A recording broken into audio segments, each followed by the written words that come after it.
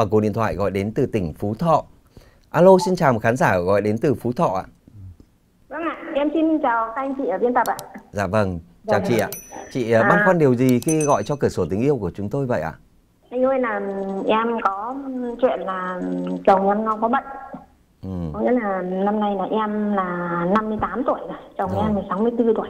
rồi. Nhưng mà nói chung là cuộc sống vợ chồng thì nói chung là từ xưa đến giờ là nói chung là ông cũng rất là nâng như chùa trượng mình nói về đánh đấm là chưa bao giờ có Ừ. nhưng mà cách gần 3 năm nay ở đây là cái chuyện mà quan hệ vợ chồng thì không biết là làm sao mà ông cứ tình cảm với vợ thì nó không xuất được ra Ừ. một hai năm trước thì nó còn độ 30 phút nhưng bây giờ nó kéo dài hàng tiếng anh ạ không ra được thế Ừ. mà trong khi đó là em đau nhức hết cả người Thế à? và thứ hai nữa là bây giờ ông có một cái tính xấu là ông ghen ghen ghê lắm. Thực ra nói thật với anh là về 10 năm nay thì em không phải làm ruộng nữa. Lúc thì đi với cháu xong bây giờ lại đi làm giúp việc. Thì Rồi. nói chung là con người ta thì nó nhàn thì nó phải hơn một tí. Thế thực ra là thôi ông trời cũng cho mình được cái nước ra là đụng hơi ưa nhìn thì nó cứ bậm bụng này khác nó không là nói đủ đường trên đời. Thế xong Rồi. thì hai ba năm nay là bây giờ là chung là vợ chồng là tình cảm là nó nói chung là bây giờ là chiều chồng gọi là cho nó xong việc thôi. Nhưng mà Rồi. Hai đứa là hay cãi nhau lắm. Có nghĩa là bây giờ mà nếu mà cứ về nhau là cãi nhau. Cho nên là nhiều lúc là em cũng vẫn từ chối em ở năm sáu tháng là không về. Thế nhưng à? mà bây giờ nó còn mắc là mấy đứa con với mấy đứa cháu bây giờ mình bỏ đi như thế. Dần dần giả dụ các con mỗi đứa một nơi nó đi nó đi làm ăn. Bây giờ ông chỉ một mình nhà thôi nhưng mà sợ là nó thế nọ thế kia thì lúc là tài sản của mình chả có gì nó chỉ có mỗi mấy đứa con thôi như mấy đứa cháu thì chả có gì. Cho nên là mình vẫn phải quay về như hai nữa là cô nghe anh đoàn anh tư vấn một câu là ông chồng là một cái cây lống ở đằng lưng thế nên em vẫn cố sống nhưng mà không biết có sống nổi đâu Tóm lại là chị à, thì 58 tuổi, chồng mình thì 64 tuổi đúng không? Và Vâng ạ. chị đang đi làm à, giúp việc ở, ở một nơi khác xa nhà. Khoảng nửa năm 6 tháng thì về nhà gặp chồng một lần và cái nhu cầu tình dục của ông ấy từ 6 mặc dù 64 tuổi thì vẫn còn rất là nhiều đúng không? Và hiện tại thì chị khỏe không đáp ứng được. Rồi, thế và bây giờ thì trước thì chỉ 20 phút là xong việc thôi nhưng bây giờ ông cả tiếng ông không xong đúng không? Vâng. Và với chị thì 58 tuổi thì cảm thấy rất là mệt mỏi và nó đau nhức khắp khắp cơ thể đúng không? vâng ạ Rồi và tự nhiên là sợ về. Vâng, Mặc dù là con cháu về. thì đang vẫn đang ở quê. Vâng. Bác sĩ Hoàng Thúy Hải sẽ phân tích để chị hiểu hơn về vấn đề này nhé. Xin uh, mời Vâng bác sĩ ạ. Vâng, tôi ờ, chào bạn. Vâng ạ em chào chị Ừ, Vâng. Hiện nay thì ờ, mình ờ, đang giúp việc ở xa không? có ở Hà Nội ạ nói À. chung là cách nhà hơn 100 cây số Hơn 100 cây số. Thế và ở nhà thì hiện nay là bố đang sống với ai ạ? bố sống một mình Bố sống một mình à? vâng ạ. Thế các con của mình lớn hết chưa? các con lớn hết là cháu nội cháu ngoài đầy đủ rồi nói chung là các cháu là đi làm ăn xa nói chung là không ở riêng như ở riêng rồi nói chung là À. thế. Vâng. Ừ. Tóm lại là bây giờ đang để ông ở nhà một mình, tự Vâng. trông nhà, tự nấu ăn, Tự xong nấu ăn. rồi ốm thì tự chăm, xong bà Tự thì chăm. đi biển biệt biển biệt 5 6 Vâng tháng. Ừ. Vâng. Mình có nghĩ là sẽ duy trì cái tình trạng này mãi được không? thực ra này chị ạ bây giờ nói thật với các anh các chị này thực ra là cái chuyện như thế này thì các thật chỉ thỏ lọ với các anh chị chúng tôi chứ còn thực ra tâm sự ai thì không bao giờ dám nói thế là nói thật kể cả sống thì để bụng mà chết thì là đi thế nhưng mà bây giờ nó quá là thì em thì cứ bảo là nói chung là bụng cãi nhau nhiều cãi nhau nhiều nữa muốn một lần nữa thì nói chung là bảo là nói chuyện với các chị thì em nói một lần hai vợ chồng mà như thế mà em nói ấy, chị là này mỗi một lần sinh hoạt như thế anh ấy không ra được anh Ừ. dặn anh cô viết một câu Rồi, lại bây giờ nhá, bây giờ Vâng. bây giờ mình nghe tớ nói này. vâng Thứ nhất là mình để một người đàn ông ở nhà vâng 5 6 tháng. Tớ không biết là anh ấy có được tự giải quyết hay không hay là anh ấy phải tự xử hay là anh ấy có nhờ ai hay không. vâng, Nhưng cái đời sống tình dục của anh ấy nó là không bình thường. vâng, Kể cả anh ấy có tự xử đi chăng nữa thì cái cảm xúc khi mà cần một người vợ, cần một người bạn ở bên cạnh, cần Vâng. một người làm cùng, ngủ cùng, ăn cùng, vâng, đi chơi cùng nó rất là khác so với cái chuyện chỉ để thỏa mãn nhu cầu tình dục. vâng, Đặc biệt một người 64 tuổi, tức là ngoài 60 tuổi, người ta có rất nhiều những thứ mà người ta cần, kể cả khao khát cũng vẫn còn.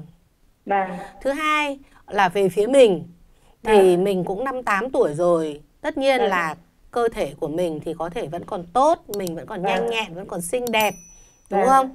Ừ, nhưng cho dù như thế đi chăng nữa thì cái mình cũng đã mãn kinh nhiều năm nay rồi vì à. thế là khi mình quan hệ tình dục nếu như mình không có kiến thức không có kỹ năng mình cứ làm hùng hục thì chắc chắn là mình sẽ bị đau bị rát bởi vì mình chưa sẵn sàng làm cái việc đấy Vâng và bây giờ thì với một người đàn ông mà người ta phải xa phụ nữ rất là lâu hay nói cách à. khác là cái sinh cái quan hệ tình dục của họ không đều đặn thì thường à. mỗi một lần gặp có thể nó cũng có những cái trục trặc như là của chồng mình như à. của chồng mình thì có thể là bệnh lý mà cũng có thể đấy là sinh lý thôi nó bí quá lâu ngày nó bí quá thì có thể nó vâng. sẽ như thế nhưng cũng có thể có trường hợp là ông ấy bị cái ở đây là ông ấy cũng rối loạn một chút về cái uh, quan hệ tình dục có thể à. là ông ấy mắc những cái bệnh mà nó liên quan tới cái đường xuất tinh ý À. ví dụ ống dẫn tinh của ông ấy nó có vấn đề hay là à. các cái cơ quan liên quan như là tiền liệt tuyến hay là như một số các cái tuyến khác nó trục trặc thì ông ấy có thể là không có tinh dịch cho nên là ông ấy không xuất ra được thế à. và vì thế ông ấy rất là sợ cái cảm giác đấy cho nên ông cứ cố gắng và càng cố gắng thì làm cho mình càng sợ càng đau và nó thành một cái vòng luẩn quẩn như thế cũng có thể là ông ấy đang bị rối loạn cái xuất tinh tức là ông ấy không xuất tinh được ra ngoài mà ông ấy lại xuất tinh vào trong người ta gọi là xuất tinh ngược dòng nhá. Và trên nền một cái người 64 tuổi thì có thể mắc như một số các cái vấn đề liên quan tới các cái bệnh rối loạn chuyển hóa những cái bệnh mãn tính. Ví dụ như là có thể ông ấy mắc bệnh uh, tăng huyết áp rồi có thể tiểu đường có thể là mắc những cái bệnh liên quan khác nữa uh, mà do ừ. cái lối sống nó chị ơi em cắt lời không... chị là chồng em nó bị bệnh gút nó chỉ uống thuốc ừ. gút thôi chứ còn tiểu đường nó không có. Đúng rồi có. bị gút à, rất là đau. À, mà nếu à, như mà phải điều trị những cái thuốc mà để điều trị gút ý thì à. mà đã ở phải giai đoạn phải điều trị thì thường là họ rất là là đau và những cái thuốc mà để điều trị gút nó cũng khá là độc đối à, với đấy. cơ thể vâng ừ.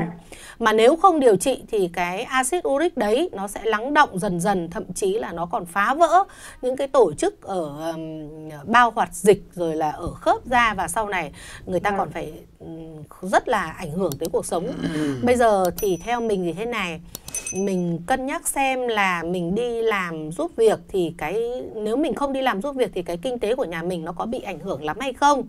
Đấy là cái thứ nhất. Cái thứ vâng. hai là uh, nếu chỉ vì vấn đề né tránh nếu chỉ vì vấn đề tình cảm nếu chỉ vì vấn đề uh, lo sợ khi mà mình phải quan hệ tình dục thì mình nên cân nhắc để mình um, quay trở về gia đình uh, cùng à. với anh ấy duy trì một cái cuộc sống nó gọi là tạm gọi là bình thường hỗ trợ nhau trong uh, kể cả tình cảm kể cả thể chất rồi là rất nhiều những cái vấn đề khác ở cái người mình cũng sắp bước vào 60 tức là những cái người cũng đã đừng người gọi là người cao tuổi rồi đấy. Vâng, vâng, thì tôi nghĩ là như thế và ừ, quyết định như thế nào thì cũng phải bàn bạc thống nhất với anh ấy. Và đừng đừng để cho anh ấy phải quá một thời gian quá lâu như vậy. Mình đi làm giúp việc có thể thứ bảy chủ nhật nhà chủ người ta nghỉ ở nhà mình có thể mình tranh thủ mình đào qua với anh ấy. Ờ, Hà Nội với cả Phú Thọ thì rất là gần mà nhá. Phương tiện đi lại nó cũng rất là thuận lợi. Bạn cố gắng uh, khi mà vẫn tiếp tục duy trì cái cuộc sống như thế này thì mình cố gắng duy trì một cái gia đình.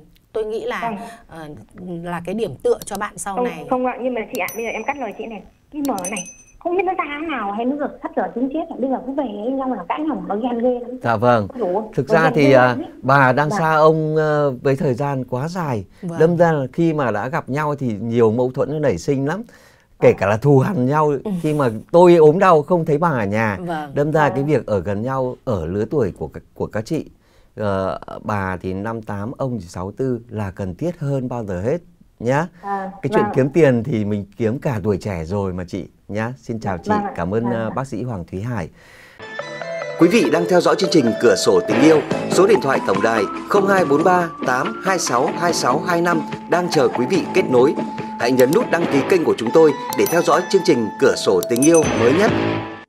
Thưa quý vị khán thính giả, bây giờ thì chúng ta sẽ cùng tiếp tục chương trình Cửa sổ tình yêu của ngày hôm nay bằng cuộc điện thoại gọi đến từ tỉnh Bình Định.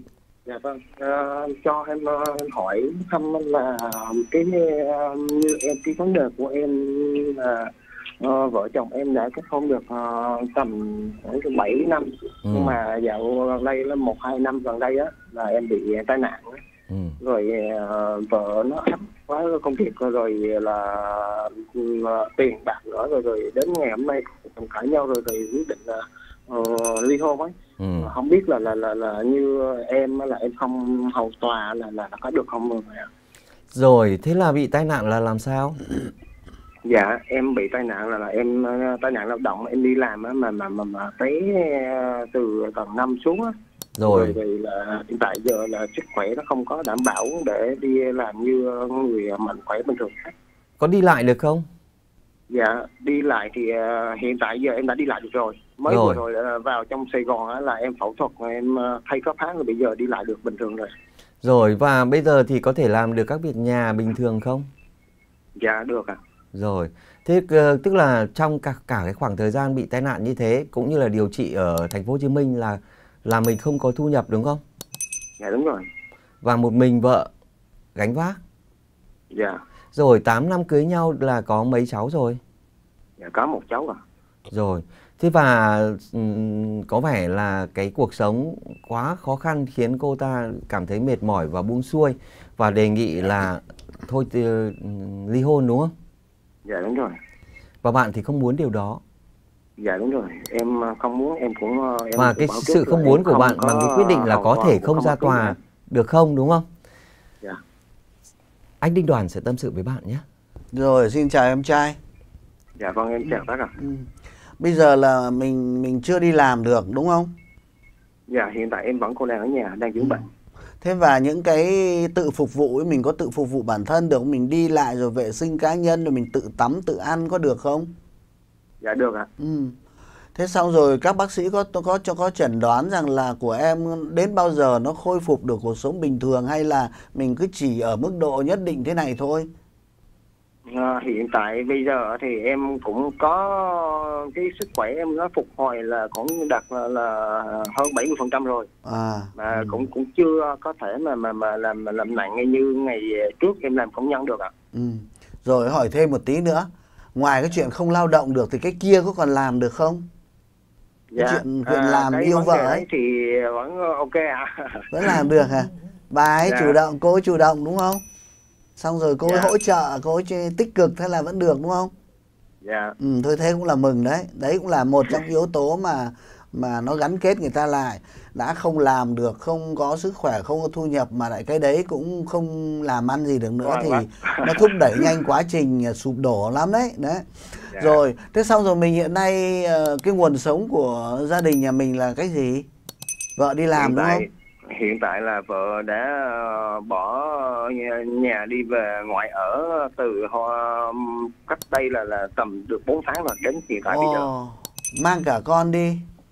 dạ còn có lúc trước là mang cả con đi mà Ừ. rồi à, đến hiện tại giờ thì em ờ, vẫn em đón thằng cô về đây để em em em chăm em lo Rồi. Thế xong mình thì đang ở với ông bà nội, tức là bố mẹ mình. dạ vâng Thôi thì mình ít nhất còn có chỗ dựa với ông bà nội.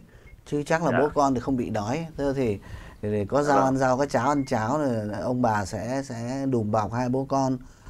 Vợ bỏ đi Vâng. về bên ngoại sau đấy có đi làm ăn xa đâu không hay là cũng cũng Dạ, ở bên cũng đó. ở ừm, trong tỉnh Bình Định ạ Ừ, rồi. Và ông bà ngoại cũng có vẻ tạo điều kiện đúng không? Ừ thôi cứ bế con về đây tao trông con cho rồi đi mà làm đi chứ không ở nhà thì chết đói à đúng không? Vâng Ừ. Em có qua từ ngày vợ mà đưa con về ngoại em có qua bên đó chơi không? Có trò chuyện với ông bà ngoại không? Dạ lúc trước ờ, thì có mà mãi về sau này thì em không có đi Ờ, mà ở đây rồi em em lo những bệnh cho em đi nữa thì không ổn ạ. Ừ. Bởi vì ờ, dù sao chăng nữa thì mình cũng phải thông cảm rằng cuộc sống ờ, mình mới có ba mươi mấy cô cũng còn rất là trẻ. Thế xong vợ chồng mới có đứa con như thế bây giờ nhìn thấy tương lai nó cũng có những khó khăn đôi lúc người phụ nữ người ta cũng nản lòng. Chồng thì không Vâng. biết bao giờ phục hồi hoàn toàn mà có phục hồi chắc đã chắc gì làm được việc nặng. Thế rồi Vâng. tiền bạc nhu cầu không có ờ, trông cậy đợi vào bố mẹ đôi bên thì chỉ có lúc thôi chứ không biết đến bao giờ nó mới vực lên được. Thành ra cô ấy Vâng. cũng phải vượt lên cô cũng đang khó khăn đấy chẳng một người phụ nữ nào muốn đang có gia đình tử tế tự nhiên để bế con về ngoại rồi để con cho ông bà ngoại trông rồi mình phải đi công ty đâu đây là cũng là một cách mà phải tự cứu lấy mình đấy. Chứ còn nếu cô cứ ở nhà cô ấy không đi làm nhưng mà cô ra vào cô đã thúng đụng nia cô ấy ờ, cáu gắt cô ấy nói mình ấy, thì có khi mình còn ức chế hơn rất là nhiều. Đây là cô đang tự tự cùng với chồng để tháo gỡ khó khăn. Con thì phải là con chung rồi. Cô đi làm thì cũng đỡ đi cho mình gánh nặng là nuôi con chứ đúng không? Thế cũng là tốt tuy nhiên thì em nói rằng là cô ấy đang có cái xu hướng à cô đã nói thẳng là cô viết đơn ly hôn đúng không dạ Ừ. đã viết đơn ly hôn và gửi tòa án hai lần và chưa? lần một thì em xuống em hầu tòa rồi em ờ, em có khai biên bản Ừ. lần hai thì em có bảo tòa là em hiện tại giờ là chuẩn bị đang đang Ừ. xu hướng đang trên đà để, để đi vào Sài Gòn để mà em em chữa bệnh em không thể hầu tòa được Ừ. nên là em có quyền em không không hầu cũng không khai gì hết. Thứ nhất là ờ, bây giờ thì cái việc mà ly hôn về mặt thủ tục thì khi viết đơn có được chữ ký đồng thuận của hai vợ chồng là tốt còn nếu không thì một chữ ký cũng không sao. Tức là đây là một Dạ. cái điều rất là mới mà không phải mới lắm đâu cũng cả chục năm nay rồi. Đặc biệt là người phụ nữ có quyền viết đơn ly hôn đơn phương tránh trường hợp có những anh chồng gây áp lực cho vợ nhưng không muốn cho vợ giải thoát kiên quyết không ký đơn.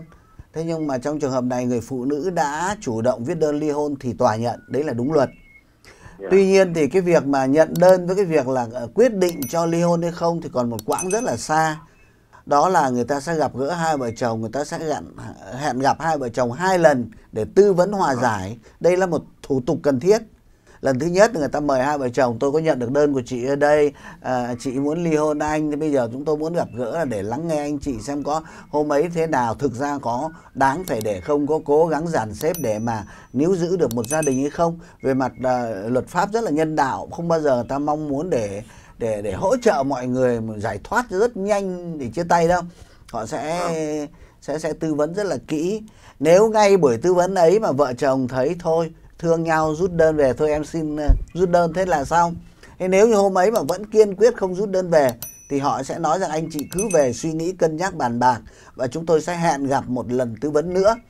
Ờ, có thể cách nửa tháng có thể cách một tháng hay là tùy nơi nhưng sau đấy họ lại gặp một lần nữa. Lúc ấy khi mà hai người đã bình tâm đã, đã về nhà đã có cái trao đổi rồi thì ờ, có thể nó lại giống như lần trước thôi. Có thể nói rằng Vâng. không chúng em đã phân tích kỹ và em thì thì thì quyết tâm là ờ, thực hiện ly hôn. Còn bên kia thì uh, níu kéo. Uh, nhưng mà cái buổi hòa giải lần thứ hai mà cũng không thành công thì tòa sẽ xét xử cho ly hôn. Đấy. Vì vậy thì em em em phải nhớ rằng là nếu cô quyết tâm đến cùng mà mình có không thì người tòa cũng vẫn phải xử ly hôn thôi. Bởi vì chỉ cần một người không mong muốn đồng hành đi tiếp thì cái cuộc mà cái cỗ xe cũng dừng lại đúng không? Giống như cái cái Vâng. vợ chồng nó là hai cái cái bánh xe của một cái xe máy ấy. Có một cái bánh mà nó xịt lốp nó không muốn đi nữa thì cả cái xe cũng phải dừng lại chứ làm sao mà mặc dù cái bánh kia rất là còn ngon đúng không Vâng. Thế thì về về mặt tinh thần là mình cứ phải chuẩn bị rằng nếu như vợ quyết tâm thì chắc rồi nhà mình cũng phải chia tay nhau thôi. Vì vậy bây giờ có chăng thì yếu tố tinh thần, yếu tố tâm lý của em quan trọng. Em có thể nhắn tin, em có thể trao đổi với vợ, anh có thể em có thể khơi gợi lại cái tình cảm. Anh dần dần anh sẽ khôi phục sức khỏe. Anh cũng chẳng phải là đi đánh nhau hay là nhậu hay đi đua xe gì để mà tai nạn. Đây là tai nạn lao động, cũng là vì đi làm kiếm miếng cơm manh áo lo cho gia đình thôi. Anh cũng không nghĩ rằng cái lúc anh khó khăn này, em lại rời xa anh. Túm lại là em phải em phải nói chuyện tình cảm để làm cho lòng vợ mềm lại và mong muốn rằng để cho nhau một cơ hội để chúng ta khắc phục dần dần cuộc sống thì sẽ ổn định dần sức khỏe sẽ cải thiện ờ, thu nhập sẽ được, được thay đổi đời sống sẽ đi lên. Đấy thì đấy là cái cách.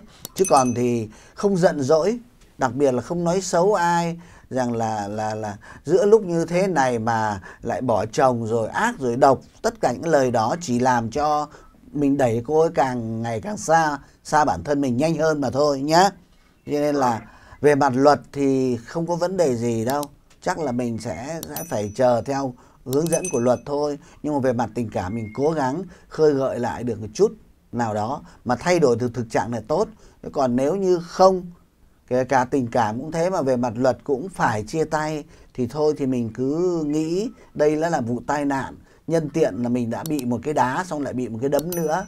Rồi mình sẽ vùng dậy lại được rồi ờ, chúng ta lại bắt đầu lại từ đầu uh, theo một hướng khác nhé Rồi, có lẽ thì ờ, tất cả những cái điều anh Đinh Đoàn vừa chia sẻ à, khiến bạn sẽ nhẹ lòng hơn và hy vọng là bạn sẽ luôn luôn ờ, gặp niềm vui trong cuộc sống và sẽ đón nhận tình yêu của tất cả mọi người. Xin chào bạn, cảm ơn chuyên gia tâm lập Đinh Đoàn. Alo, xin chào một khán giả gọi đến từ Hải Phòng. Vâng, alo ạ. Chào bạn, câu hỏi của bạn Vâng. là gì vậy? Ờ, tôi xin chào anh Văn, anh Đoàn, với chị Hải, với ờ, cùng với ekip của chương trình. Dạ vâng. Tôi ờ, có mấy câu hỏi muốn ờ, ờ, nhờ ekip chương trình là cửa sổ tình yêu tư vấn giúp tôi. Rồi ạ. Vâng, cái thứ nhất thì ờ, tôi năm nay là có con trai là 26 tuổi. À thế anh cũng lớn tuổi rồi ạ? Đợt trước tôi cũng trình bày rồi đấy thì ờ, chương trình buổi hẹn buổi là sang tuần thì mình gọi lại. À thế hả? Thì, Vâng. ờ, Rồi. hôm nay tôi xin trình bày lại. Dạ. Vâng, thì ờ, con trai tôi năm nay 26 tuổi, thế cháu cũng ờ, yêu một bạn gái Vâng. cũng tầm ờ, tầm tuổi đấy. Thế thì ờ, nói thật anh Văn là các cháu nó cũng có quan hệ tình dục trước rồi, mà các cháu cũng ờ, cũng có cái hướng là đi đến hôn nhân. Dạ vâng. Thế nhưng mà trong quá trình mà các cháu tìm hiểu và có quan hệ rồi nhưng mà bạn gái của cháu con trai nhà tôi thì lại không mang thai được. Ờ. Thế thì tôi thì tôi là bậc làm cha mẹ thì cũng rất là lo cho con cái nếu như mà các cháu mà xây dựng hạnh phúc với nhau mà không có con thì sau này cuộc sống sẽ không thể kéo dài được. Rồi.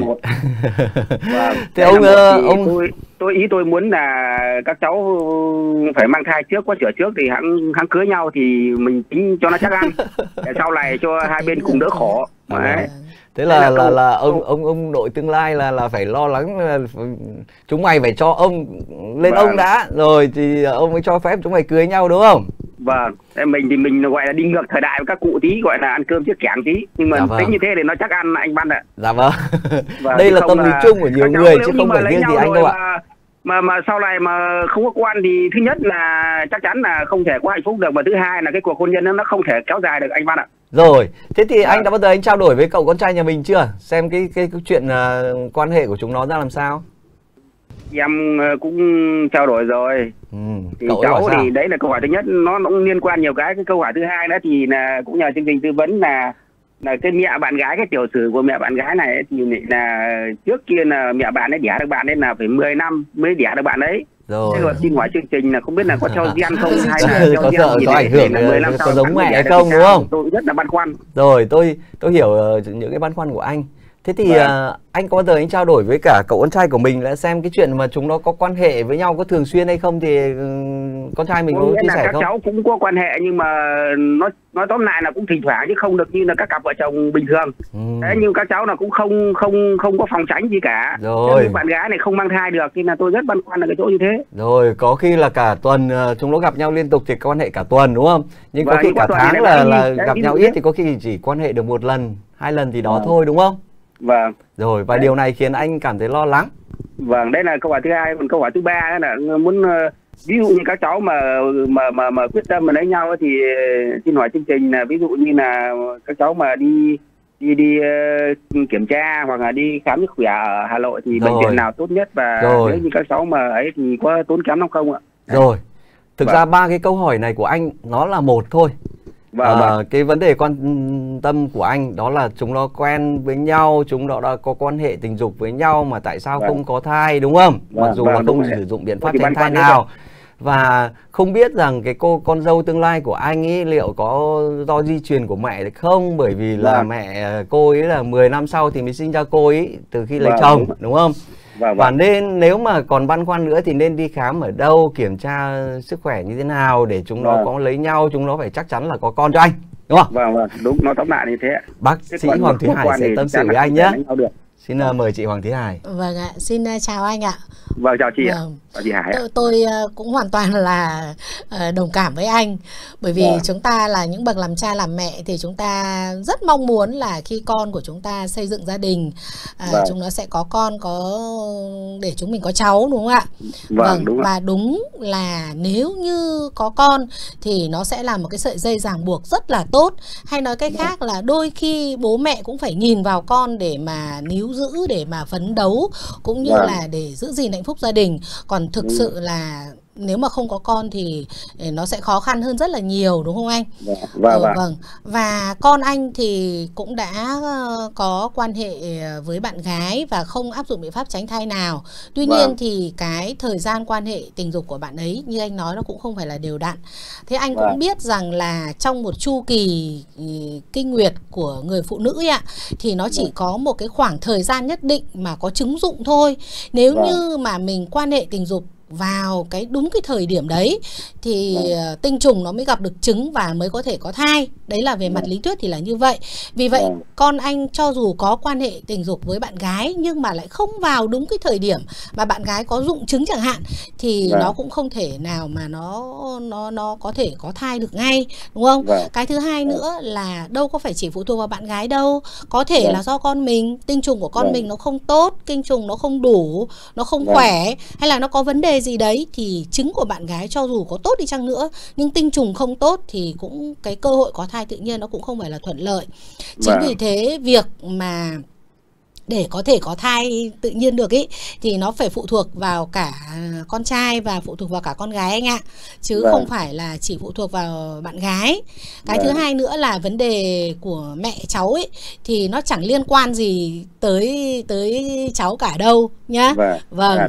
mẹ cháu có thể là chậm có con 10 năm mới có con vì rất nhiều những cái nguyên nhân khác biết đâu có thể là do bố cháu thì sao chứ không phải Vâng. là chỉ là Vâng. do mẹ cháu vì thế mà ừm, bây giờ thì chúng tôi đang khuyến cáo rất nhiều đó là khám sức khỏe tiền hôn nhân Vâng. Dạ. Vâng, và cái quan trọng nhất mà cũng như anh mong muốn ý, tức là các con đi khám xem là hoạt động của cơ quan sinh dục của cả hai con nó có bình thường hay không. Vâng. Và khi mà ờ, dựa trên cái kết quả khám đấy thì mới có thể tiên lượng được là các con có thể có thai tự nhiên hay không hay là Vâng. cần phải có can thiệp hoặc là hỗ trợ của y tế. Vâng. Thế thì ở Hải Phòng thì nó rất là tiện vì Hải Phòng là một thành phố rất là lớn Vì vậy mà Vâng. y tế ở Hải Phòng cũng rất là phát triển Khi đi Vâng. thì cả hai cháu đều cùng đi khám Đến đấy Vâng. có thể người ta sẽ khám tổng thể cho các con Và đặc biệt là người ta sẽ khám kỹ về hoạt động Vâng. của cơ quan sinh dục Với con Vâng. trai thì người ta ít nhất người ta sẽ làm một cái xét nghiệm tinh dịch đồ Xem là cái chất lượng cũng như là số lượng tinh trùng của con như thế nào Với Vâng. bạn nữ thì người ta sẽ kiểm tra kỹ về cái hoạt động của cơ quan sinh dục ví dụ người ta sẽ kiểm tra tử cung người ta sẽ kiểm tra buồng trứng người ta kiểm tra vòi trứng người ta sẽ Vâng. kiểm tra cái nội tiết tố sinh dục nữ vân vân tức là những Vâng. cái yếu tố nó có thể liên quan tới việc có thai á đấy Vâng. thì tôi nghĩ là kể cả không phải anh dục mà bây giờ chúng tôi đang khuyến cáo thanh niên thì nên kiểm tra sức khỏe tiền hôn nhân à, là cái rất là tốt để mình có thể dự phòng cũng như là Vâng. à, được tư vấn kỹ hơn anh ạ nhá Vâng. Vâng. Vâng. Anh đã nghe rõ những lời chia sẻ của bác sĩ Hoàng Thúy Hải rồi chưa ạ? Và chúng tôi cũng đang khuyến cáo nhiều bạn trẻ là ờ, nên đi khám tiền hôn nhân trước khi Vâng, quyết vâng. định là lấy nhau. Chào Vâng. anh nhá. Hy vọng Vâng, anh vâng. sẽ là khán giả ờ, thường xuyên gắn bó với chương trình Cửa sổ tình yêu của chúng Vâng, tôi. thế, ờ, Còn bây giờ thì chúng ta sẽ cùng tiếp tục chương trình Cửa sổ tình yêu của ngày hôm nay bằng cuộc điện thoại khác. Cuộc điện thoại gọi đến từ tỉnh Tuyên Quang.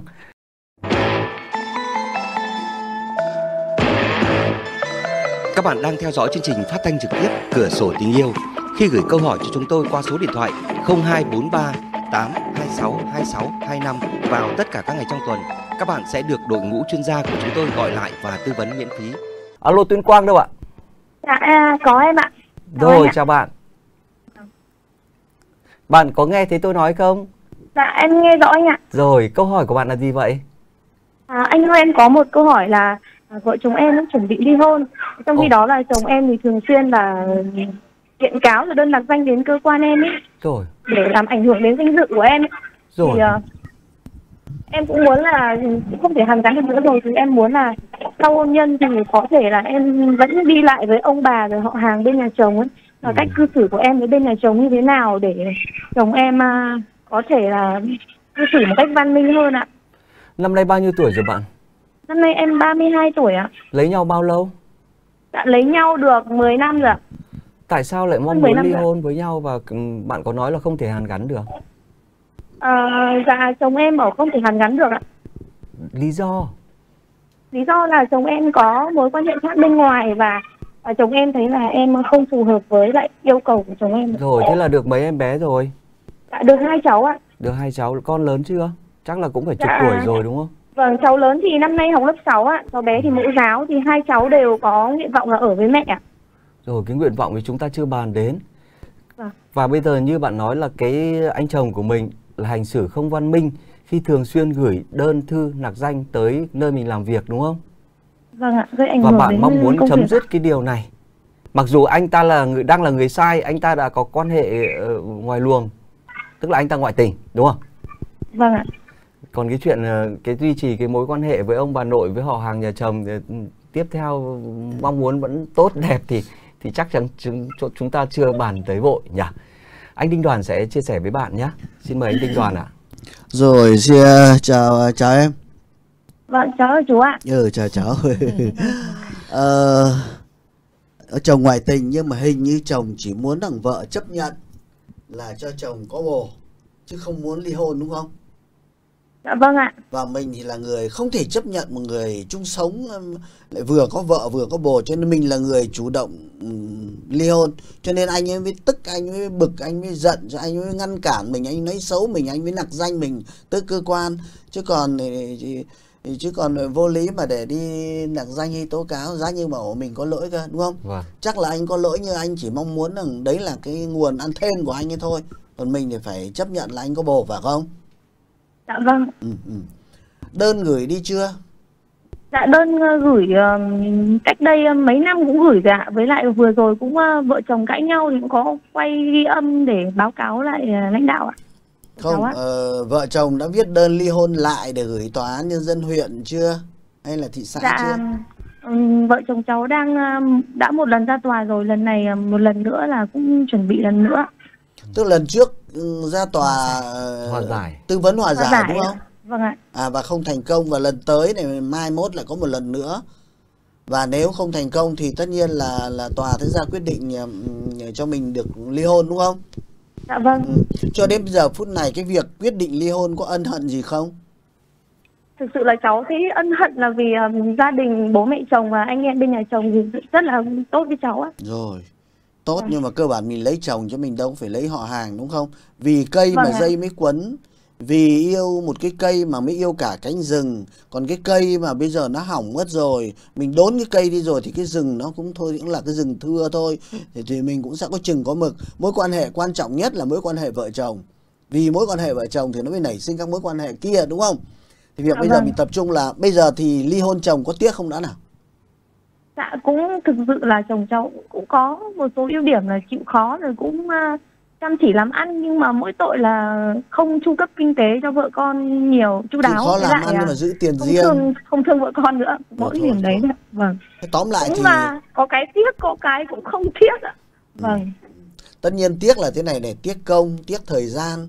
Gắn bó với nhau mười mấy năm có con đã học lớp 6 rồi rồi hai đứa con rồi nó cũng gắn bó không ai mong muốn ly kết hôn để ly hôn nhưng mà gọi là chuyện cái cuộc hôn nhân nó không dẫn tới cái hạnh phúc cho cả đôi bên. Ông chồng chịu thương chịu khó nhưng mà để cất tiền riêng và không không chia sẻ với vợ con thì cái chịu khó để làm gì đúng không? Thứ hai nữa là Dạ đúng là vâng. ông ấy tốt nhưng mà có mỗi một tội lớn nhất là tội vô bình tình. thật ra này đàn ông ấy nếu trung thủy thì những cái tội khác đều là tội nhẹ ông chồng mà có hơi lười lười một chút có hơi bân bẩn một chút hơi thấp thấp một tí lương ờ, công chức nhà nước ờ, sáu bảy triệu thôi. Ờ, không có hát karaoke giỏi không biết đánh đàn nhưng thủy chung thương vợ thương con thì chắc là phụ nữ vẫn chấp nhận được. Nhưng mà một người đàn ông có tất cả các loại thế mạnh trừ cái loại trăng hoa thì chắc phụ nữ khó để chấp nhận được đúng không? Đúng người ta vẫn nói mà phụ nữ cũng lưu truyền với nhau một câu là à, đói lòng thì ăn nắm lá sung chồng một thì lấy chứ chồng chung thì đừng đúng không? À, không có Vâng. gì buồn bằng là khi chồng mình ở nhà thì là chồng mình nhưng ra khỏi cửa thì là chồng công cộng public chồng đấy. Thôi à, suy nghĩ cân nhắc đã. Hạ cách đây mấy năm đã đưa đơn ra tòa hiện nay cũng không cải thiện được lại một lần nữa. Ờ, đưa đơn ly hôn và đã hòa giải một lần không thành công thì chắc rồi cũng sẽ khó cứu chữa. Ờ, này thế mình đã chuẩn bị cho cái hậu ly hôn chưa? Sau ly hôn thì mình ở đâu? Mấy mẹ con đi rút đi thuê nhà hay về với bà ngoại hay là dọn đến cơ quan ở hay làm sao? Bởi vì cái đấy rất quan trọng đấy. Dạ cháu cũng đang tính cái bước đấy ạ. Bởi Bước vì đấy cháu thấy bước rất gì? là khó khăn Bởi vì là cái địa bàn công tác của cháu thì là gần ở trung tâm thành phố Tiện cho con cái học hành. Nhưng mà nếu mà chuyển về xã thì ừm, Sẽ gần ông bà ngoại. Nhưng mà Ờ, điều kiện học tập của các cháu lại kém Ừ, đi ạ Rồi. Nhưng mà ví dụ nhá, thuê một cái nhà bé bé ba mẹ con ở, bố nó có đóng góp theo tòa là chẳng hạn như sẽ đóng góp một ít tiền. Thế rồi để duy trì cái việc học của con nó không xáo trộn, con học trường nào vẫn học trường ấy, mẹ vẫn đi làm thì có cố được không? Dạ cháu nghĩ là cháu vẫn cố được ạ Ừ, thế thì cố gắng Ba tất mẹ con nhiên. sống khổ với nhau vất vả một chút đấy. Ừ, vất vả như thanh thản mình chịu khó làm thêm nhá. Thế rồi rồi Vâng. mình cũng ờ, cân nhắc các khoản chi tiêu sao cho cuộc sống mà sau ly hôn nó phải được ổn định. Chứ mình ly hôn xong xong rồi con cái tan tác một đứa gửi bên nội, một đứa gửi về quê ngoại, đứa thì học trường làng, mẹ thì eh, lang thang rồi bắt đầu mình ngồi mình áy náy mình ân hận thì không tốt một chút nào. uh, ly hôn người ta dành cho đến hai lần để để suy ngẫm để cuối cùng hòa tư vấn hòa giải chính là để cho mọi người cân nhắc thật kỹ. Thế còn nếu cháu đã cân nhắc đã quyết định rồi thì mình phải cố gắng. Thế còn cái việc thứ hai là cái việc mà cháu nhận nuôi hai đứa hay không thì đúng là phải tòa người ta quyết định. Thông thường thì ờ, con nhỏ ưu tiên là mẹ nuôi con lớn thì bố nuôi. Ờ, tuy nhiên trẻ mà độ 10 tuổi trở lên thì tòa sẽ hỏi ý kiến các con. Nhưng mà cũng là ý kiến tham khảo thôi chứ cũng không phải là cứ con hỏi là ở với ai là tòa đồng ý đâu. Bởi vì có những trường hợp là vận động các con. Vâng. ví dụ như lỗi ông bố nhưng mà bà nội ông bà nội với ông bố là đã hứa rằng nếu mà con mà ra tòa mà nói là thích ở với ông bà nội thì ông bà nội mua cho cái xe đạp hay cho cái cái điện thoại gì là các cháu nó dại mà. Cho nên là ý kiến tham khảo thôi người ta sẽ cân nhắc thực tế đấy Vâng. thế và ờ, nếu như trường hợp mà mà ờ, mình được quyền nuôi cả hai con mà ờ, tòa mà phân cho ông ấy chỉ là đóng góp thôi thì cũng là cái thuận thì hai con nó đỡ phải, phải, phải tách rời nhau. Thế còn tất cả cái chuyện là sau đấy ờ, mình mong muốn đi lại với ông bà nội rồi với lại cô dì chú bác ở bên nhà chồng còn phụ thuộc vào thái độ của họ sau khi ly hôn nếu sau khi ly hôn mà ông bà vẫn thương các cháu bởi vì vợ chồng mình thì ly hôn nhưng mà cháu vẫn là cháu ông bà. Mình vẫn là người tử tế mà ông bà thấy hai ba mẹ con nó khổ quá mỗi tháng ông bà hỗ trợ một chút. Chiều chiều ông bà rảnh nói rằng mẹ cứ đi làm đi để ông đón con hộ. Ông đón nhưng không phải mang cháu về nhà giấu đi mà đón về nhà cho mẹ. Thế rồi thỉnh thoảng có cái này cái khác tức là do, do ăn ở ấy mà. Cho nên thái độ của mình cũng phải phụ thuộc vào cái cái thái độ của người ta dành cho mình ở đời cũng thế, tất nhiên mình tốt nhưng mà ờ, cái tốt phải được đặt đúng chỗ. Không phải ăn miếng trả miếng nhưng nếu gia đình, nhà chồng hết lòng hết sức và ờ, thím của chồng rất là quý, mỗi lần đi chợ lại quẳng cho mấy mẹ con cân thịt, bảo là khổ thân. Mẹ con này có cân thịt thì tao quẳng cho mà ăn, vào nhà tao mà lấy rau sạch ra mà ăn với nhau thì tất nhiên mình chẳng bỏ người ta được. Bởi vì dù sao chăng nữa, hai đứa con của mình dù có ở mình chăng nữa, nó vẫn là máu thịt nhà ấy mà giang mang mang họ của nhà chồng, đúng không? Rồi lớn lên Dạ, các vâng. cháu nó cũng tìm về cội về rễ thì nhưng mà mình thì không nói trước được điều gì nếu như sau khi ly hôn mà họ cũng lại a dua theo con trai họ họ thù mình họ cạch mặt mình thậm chí họ nói xấu mình thì thôi cũng không tội gì mình phải yêu thương nhá tình yêu thương nào cũng cần phải được đáp lại em hiểu không Dạ vâng Rồi, Nhá. bạn đã nghe rõ những lời chia sẻ của chuyên gia tâm lý học Đinh Đoàn rồi chứ? Dạ vâng em Rồi. ờ, cũng nghe nhưng em em rất cảm ơn chương trình ạ và cũng thấy nhẹ nhàng hơn một chút Rồi. nhưng mà em cũng nghĩ là các bạn trẻ khi mà kết hôn thì cũng nên không nên um, quá tin tưởng vào chồng và gia đình nhà chồng về kinh tế như bản thân em bây giờ Rồi, ờ, xây dựng rất nhiều nhưng cuối cùng mà ra đi cũng gần như là hai bàn tay trắng đấy, đấy cũng là một cái điều rất lo lắng và hy vọng là nếu mà ừ, thuận tình ly hôn xong thì ba mẹ con ổn định cuộc sống nhá. dạ vâng Xin chào bạn, cảm ơn chuyên gia tâm học Đinh Đoàn. Còn bây giờ thì chúng ta sẽ cùng tiếp tục chương trình Cửa sổ tình yêu của ngày hôm nay bằng cuộc điện thoại gọi đến từ tỉnh Gia Lai.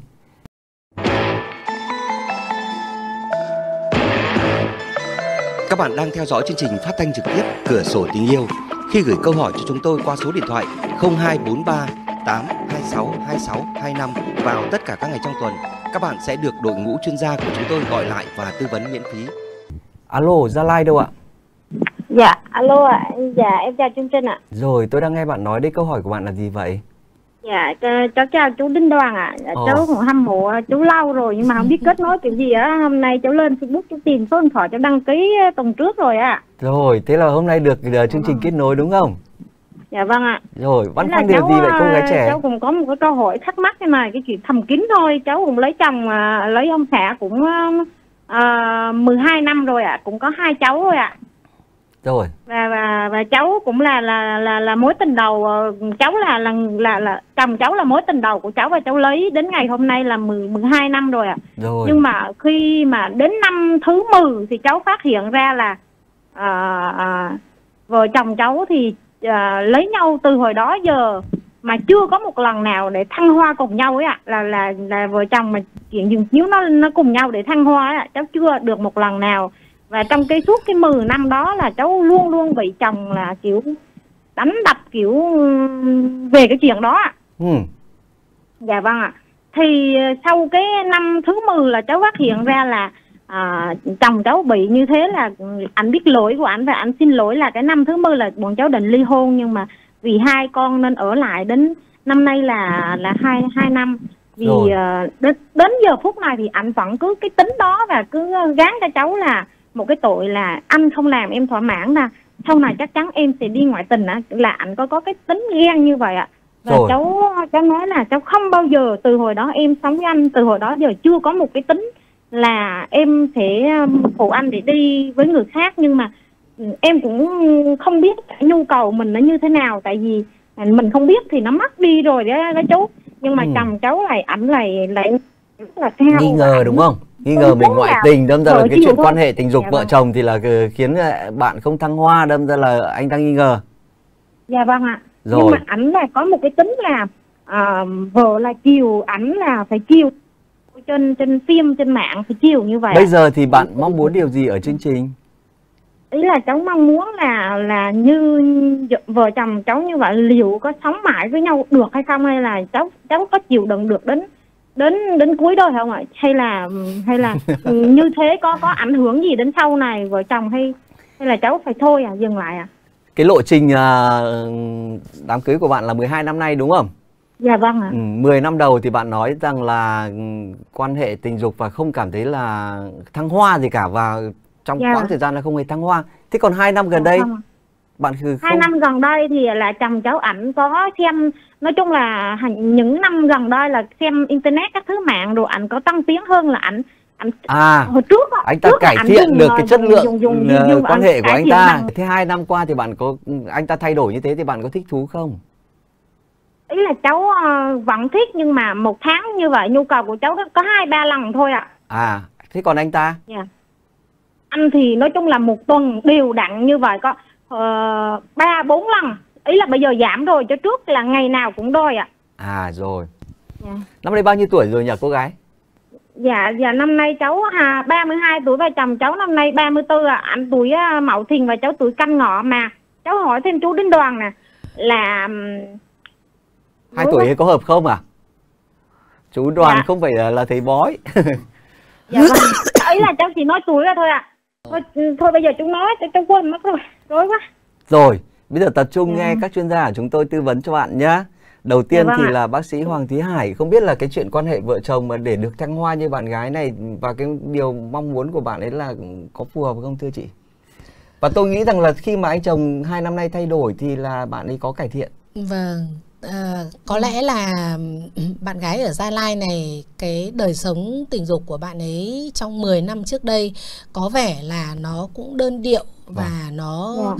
ờ, chỉ ờ, thực hiện những cái hành vi quan hệ tình dục theo những cái tư thế truyền thống hoặc là những cái mà bạn cho là hết sức bình thường. Vâng. Chính vì vậy là bạn ấy không có cái thăng hoa à, và mình dùng cái từ thăng hoa ở đây thì có mình hiểu là bạn ấy không được thỏa mãn khi mà Dạ. bạn ấy có quan hệ tình dục với chồng Vâng. ờ, nhưng tôi hiểu thì nó là gồm rất nhiều các cái vấn đề khác nữa trong cuộc sống chứ không phải là chỉ cái vấn đề về quan hệ tình dục Vâng. Ờ, cũng rất may là đến bản thân bạn ấy cũng có cái mong muốn là cải thiện cái đời sống tình dục của gia đình từ Vâng. cách đây 6 năm chính vì vậy mà bạn ấy cũng đã có có một chút cái thay đổi theo cái mong muốn của chồng Ờ, đến bây giờ thì theo như bạn ấy tả thì bạn ấy cũng chồng bạn ấy cũng có nhiều cái thay đổi Vâng. theo chiều hướng tích cực Dạ vâng. Vâng, vì cảm thấy là cả hai vợ chồng có vẻ được thỏa mãn.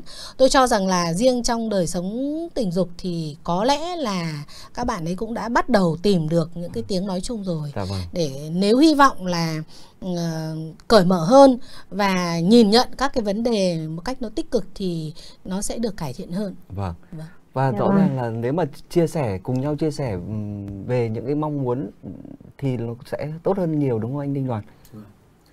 Thật ra thì ờ, trường hợp của của bạn gái mới 32 và bạn nam 34 Tư, mà. vâng. Các Vâng. bạn còn đang rất thanh niên mà ở thành phố là nhiều đôi bây giờ mới kết hôn.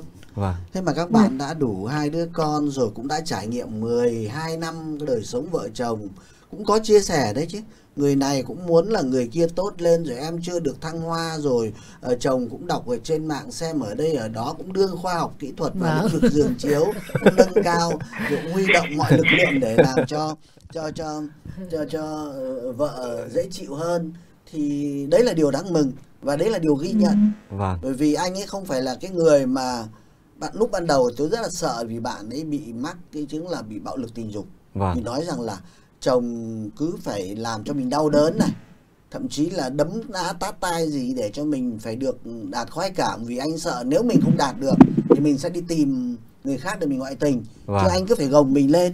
Nhưng mà may mắn là là đấy là cái lúc bức xúc thôi. Sau này đã tìm ra nút thắt là đấy anh làm cho em là làm thế này thế này xong em cũng làm cho anh như thế và bạn gái thì ờ, sinh ra lớn lên ở một vùng quê mới 20 tuổi đã lấy chồng mối tình đầu và ông chồng cũng chỉ là người người thầy đầu tiên Vâng. ờ, dẫn Dạ. dắt vợ trong cái lĩnh vực giường chiếu và cho đến bây giờ có mỗi một ông thầy ấy Vâng. thành ra cũng ờ, cũng ít trải nghiệm cho nên cũng khó để mà có so sánh nói rằng là, là chưa được thăng hoa thì cũng đấy là cứ do cảm giác chủ quan thôi. Ra bảo là ờ, đi học năm thầy và rút ra là thầy này giỏi nhất thì mới bảo khen là thầy nhà mình không bằng chứ đúng không?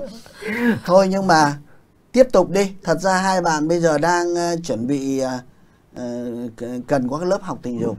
Vâng. cùng với nhau Dạ đi. vâng, mà cháu hỏi thêm chương gia chương, chương trình ạ, của chồng cháu thế này có có, có bé không ạ? của chồng À, có nó, bé không á? Nó nó cương mà nhiều lúc cương chắc được 9 cm, 10 cm thôi ạ. ôi 9 À, cm là được rồi dạ cháu vâng. còn muốn bao nhiêu tất nhiên của thằng Tây Ấy Tây thế này đen thì nó trình, 20 Anh cứ bảo thế này này, anh cứ anh cứ vì cái tôi xem đó mà anh hành con á là anh bảo là hay là anh bé quá thì em không làm cho em thỏa mãn thế thì em đi tìm người khác đi rồi thế này đi. Chung là À, cũng tự ti, chồng cũng tự ti. cái tội đó để chia tay ạ. Cái vấn đề là ở cái đầu của bạn ấy bạn trai thì có lẽ là bạn ấy cũng coi ở trên mạng bạn ấy thấy rằng là ờ, người đàn ông châu ờ, Phi thì 25 cm đàn ông châu ờ, Âu. Âu thì 20 rồi châu Á thì 15 trong khi của bạn chỉ có 9 tất cả những thống kê chỉ là thống kê thôi còn thì mỗi người mỗi cảnh. Cái chín ấy mà phù hợp với lại người vợ của mình thì đâu cũng có ít đúng không? Thế và Dạ. và nó cũng không phụ thuộc vào kích thước từ trước đến giờ Vâng. 12 năm nay 9 phân nó vẫn là 9 phân chứ nó cũng chẳng mọc ra thêm mà nó cũng không ngắn đi cơ bản là vâng. kỹ thuật mình đã nâng cao cải thiện thì chất lượng quan hệ vợ chồng đã có cải thiện đấy cho nên là cái yếu tố mà kiến thức kỹ năng nghệ thuật nó mới là quan trọng chứ không phải kích thước đúng không ạ. mình là người động Dạ viên vâng. đi em thấy thế cũng được 9 phần cũng được đấy chứ chồng kinh chết đi được đấy ví dụ như vậy động viên để cho ông ấy có cái tinh thần là, là yên tâm thứ hai nữa Dạ là vâng đừng ạ. có ngại chuyện gì ở trên đời vợ chồng cũng chia sẻ được đặc biệt là lĩnh vực giường chiếu. Ông ấy xem cái Dạ gì vâng. mình cứ giả vờ tò mò đi. Mà thật ra là cũng không phải là tò mò mà bắt đầu học đi. Anh xem cái gì? Đầu cho cái gì cho em xem có gì hay không? Đôi khi trước lúc mà bước vào trận chiến ấy hai vợ chồng cùng xem một đoạn clip nào đấy và ờ, xong rồi cùng thống nhất ô cái này hay nhở? Cái thằng này nó làm buồn cười nhở? Thế xong rồi tí nữa mình thực hành theo kiểu đấy. Thì nghĩa là nó có cái thuận vợ thuận chồng mà thuận vợ Dạ. thuận chồng thì bể đông còn tắt cạn huống chi những cái chuyện Dạ kia vâng đúng không được Dạ. Ừm, ban đầu thì hơi Hơi lo lắng đúng không ạ? hơi, hơi lo lắng nhưng Dạ sau lại vâng. thấy là có dấu hiệu tiến bộ và bây giờ chỉ cần cởi mở và chia sẻ với nhau rồi đôi khi cũng biết động viên một tí ờ, Dạ. con người nó không phải là cái máy năm lần quan hệ Dạ. Ờ, không phải lần nào mình cũng lên đỉnh lần nào cũng phải la hét dữ dữ dội thì mới là đạt lên đỉnh thấy ấm áp Dạ vâng. bên cạnh nhau ông ấy Dạ. ờ, hoàn thành được nghĩa vụ ông lăn quay ra ông ngủ mình thấy thế cũng là ok rồi Dạ. nhá bạn đã nghe rõ những lời chia sẻ của các chuyên gia chúng tôi rồi chứ và bây giờ thì yên tâm Dạ hơn vâng. rồi chưa thực Dạ, ra dạ, ban đầu khi mà nghe cái câu hỏi của bạn thì à, chúng tôi rất lo lắng bởi vì sợ biết đâu là có hành vi bạo lực trong quan hệ tình dục của người chồng nhưng mà cái lộ trình lúc ban đầu là 10 năm và 2 năm cuối là khởi sắc rõ rệt phát huy nhá. Xin chào cô gái từ Gia Lai. Còn bây giờ thì chúng ta sẽ cùng tiếp tục chương trình cửa sổ tình yêu của ngày hôm nay bằng cuộc điện thoại gọi đến từ tỉnh Bình Phước.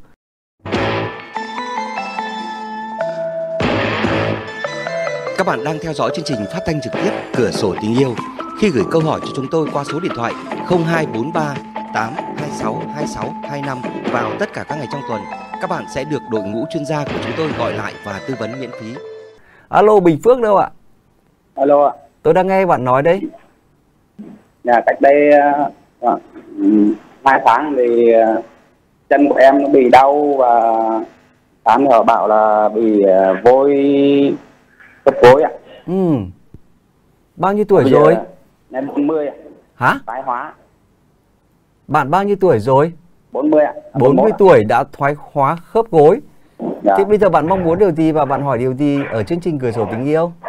Dạ mà ở đây hai tháng thì nói chung là cái chuyện vợ chồng thì quan hệ là nó hạn chế và nó nó cảm thấy như nó không được như em muốn. Ừ. Hạn chế là hạn chế như thế nào? Hạn chế về số lần hay là hạn chế về chất lượng mỗi lần? Và hạn chế về chất lượng á à. À, nói chung là cái độ cứng cứng cũng không được lên đỉnh mấy ạ. Rồi vôi hóa thì có uống thuốc tây không đấy? À, uống mà giờ thôi không uống mà uống được mấy mấy tháng rồi? Uống được thôi một tháng mà ờ có uống thuốc về khớp đúng không? Dạ. và bạn thấy rằng là yếu hẳn về cái Rồi. chuyện mà nó cương cứng là nó giảm bớt đi và chất lượng của mỗi lần là giảm sút. Số lượng thì một tuần được mấy lần còn cũng được bốn lần ạ. À tuần hẳn 4 lần. Thế là vẫn còn khá 40 tuổi đúng không trai trai? Dạ. lấy nhau bao lâu rồi? Cũng được ừ, 15 năm nè 15 năm thế là các con cũng lớn rồi đúng không? Dạ. thế ờ, hai tháng này thì bà xã có than phiền gì không? Có. Ờ nói sao phải bảo là sao dạo này đi ra ngoài rồi sao mà À, đấy. mà tức là thấy chồng yếu, thế. thì không hỏi thăm sức khỏe của chồng ra sao nhưng chỉ nghĩ là chồng đổ chỗ khác thôi đúng không dạ. bác sĩ Hoàng Thúy Hải sẽ có ý kiến với bạn nhé Vâng. dạ. Ờ, xin chào bạn. dạ. Vâng, tôi cũng nghe câu chuyện của bạn với cả anh Văn rồi á. Thì Dạ. ờ, hiện nay thì cái khớp gối của bạn nó như thế nào? dạ bây giờ thì là nó vẫn đang đau Thế à? Ừ, và nó đau như thế thì nó cũng sẽ hạn chế vận động nhiều đúng không? Dạ đúng rồi Đúng rồi. Thế và từ cái hạn chế vận động của khớp gối thì nó cũng sẽ ảnh hưởng tới cái chất lượng quan hệ tình dục anh Văn ạ. Vâng. Bởi vì là Vâng. có một số các cái tư thế hoặc là một số các cái à, hành vi khi mà mình thực hiện việc quan hệ tình dục nó cũng sẽ bị ảnh hưởng. Rồi cũng dùng đến đầu gối nữa Vâng. Đấy Dạ. đấy cũng là một ờ, cái vấn đề về khớp gối nhưng nó cũng ảnh hưởng tới tâm lý và nó ảnh hưởng tới quan hệ tình dục. Hiện nay em đang lo lắng là vấn đề về cương dương đúng không? Dạ đúng rồi. Ừ, nó như thế nào em? nó giảm nó giảm kém đi nhiều ạ. Giảm kém đi nhiều. Ờ, nhưng mà nó ở trong tình trạng nào? Ví dụ mình xuất tinh sớm hay là mình không cương cứng được dương vật hay là chỉ cương cứng được có một chút thôi? Hay là như nào Dạ. em?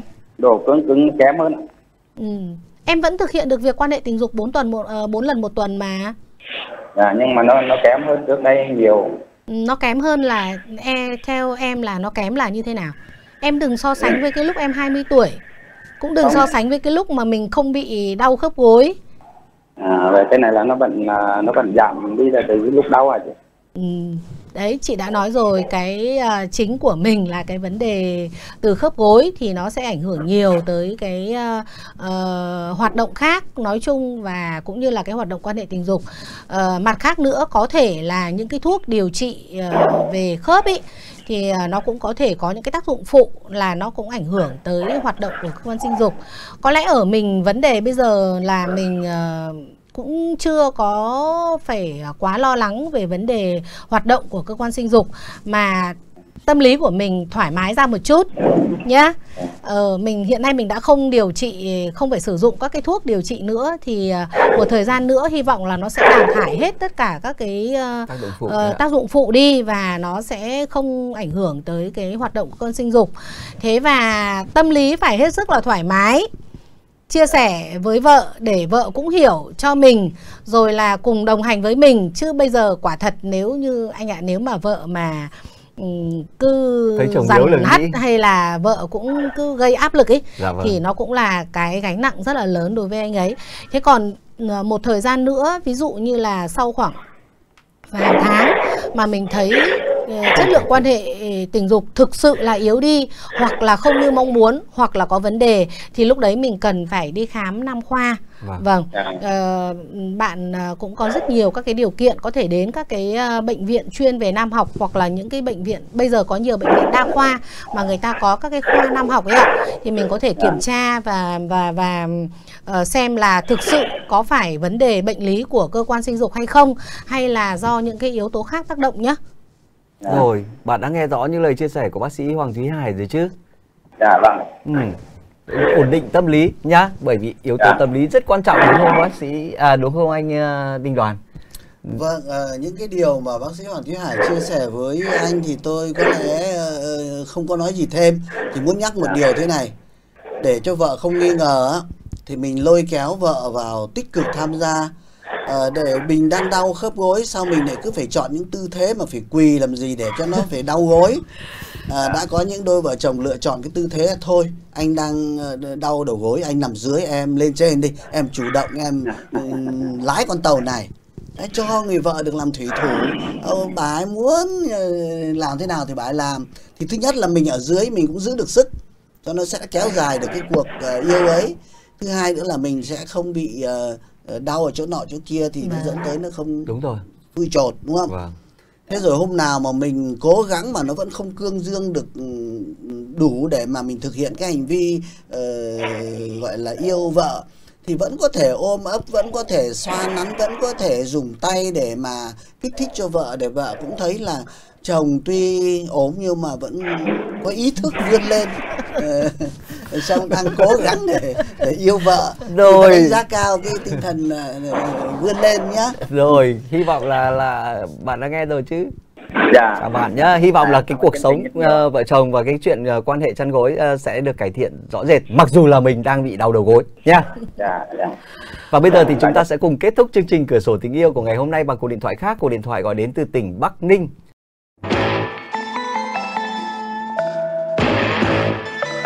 Các bạn đang theo dõi chương trình phát thanh trực tiếp Cửa sổ tình yêu.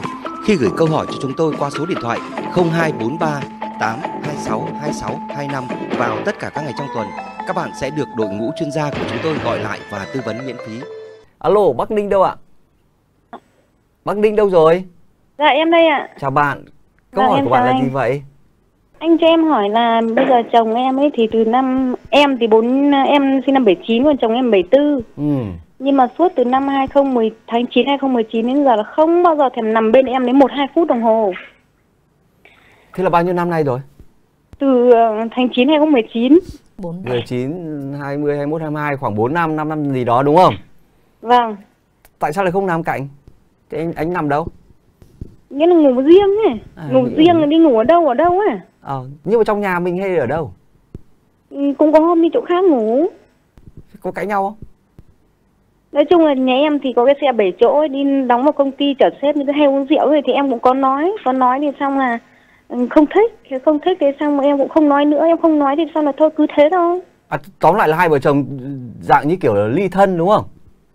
Đấy thì như thế thì cũng không kém gì ly thân anh ạ. À. thế có ăn chung không? Ăn thì nhà em có đi làm ăn bữa tối ở nhà thì hôm thì ăn hôm ông ấy đi uống rượu hầu như ông không ăn cơm nhà Thế có bao giờ gọi cho vợ về là tối nay anh có khách anh không về em và các con ăn đi không? Không anh ạ. Cứ đột ngột đến, đột ngột đi, đột ngột không, không ăn, đột ngột vâng. ở nhà ngủ và cũng đột vâng. ngột ngủ chỗ khác. Vâng. Thế hàng ngày có nói chuyện gì với vợ không? Không anh ạ.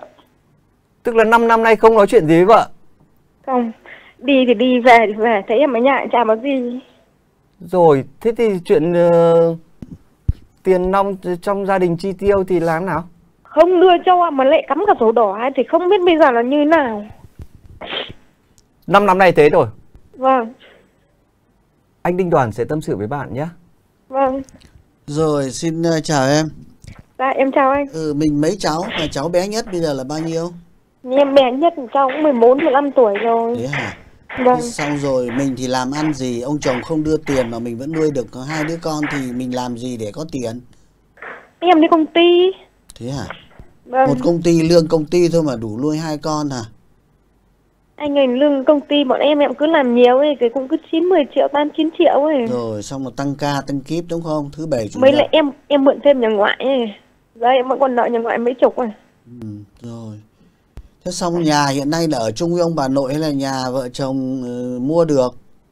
Nhà em thì đất của ông bà nội và bọn em làm lấy.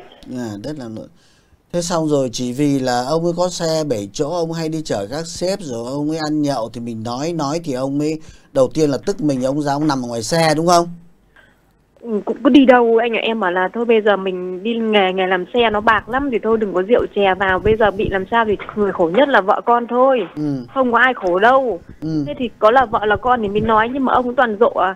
Mày cứ nói lắm là tao đi tự tử mới tao chết tao không sống được mẹ con nhà mày mới bước mẹ mày đi cứ chửi em như thế thế thì sao em không nói em mà kệ em mà kệ thôi cứ thế thôi rồi à, Ờ. thế thì à, không quan hệ với vợ không gì cả thì mọi người cứ trêu thì bảo là yếu không làm gì được thế nhưng mà yếu không làm gì được mà em suốt ngày như, ngay như đêm hôm qua em không ngủ được là em dậy đi vệ sinh em nhìn thấy cửa phòng mở ừ.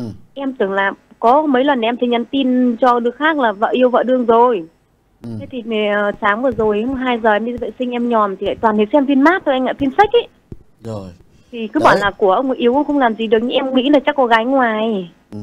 thì anh tư vấn cho em mới xem như thế nào để em cách giải quyết. Thứ nhất là mình để bệnh nó quá lâu rồi. Cái Vâng. chuyện vợ chồng mà mâu thuẫn nhau đáng lẽ phải giải quyết ngay. Có tức tức giận hai ba ngày thôi xong bây giờ anh thế nào? Vì em là vợ anh em mới lo cho anh cuộc sống như thế anh mới nhắc nhở. Còn nếu anh không thích từ nay đi thì tùy. Muốn uống rượu thì uống nhưng đã là vợ chồng thứ nhất anh phải có trách nhiệm đóng góp. Mỗi tháng anh làm đâu thì làm bỏ cái cái, cái tiền tỷ ra để mua ô tô để để chạy xe thì nghĩa là để cho cải thiện cuộc sống. Anh Vâng. cứ đóng 10 triệu để cho em nuôi con. Hai nữa là vợ chồng nó phải duy trì bữa ăn. Hôm nào anh không về ăn cơm thì anh phải nhắn tin cho em. Còn nếu không thì thế nọ thế kia. Ờ, rồi ông ấy đòi đang ngủ riêng thì mình cũng phải chủ động mình nhắc nhở. Ví dụ như thế.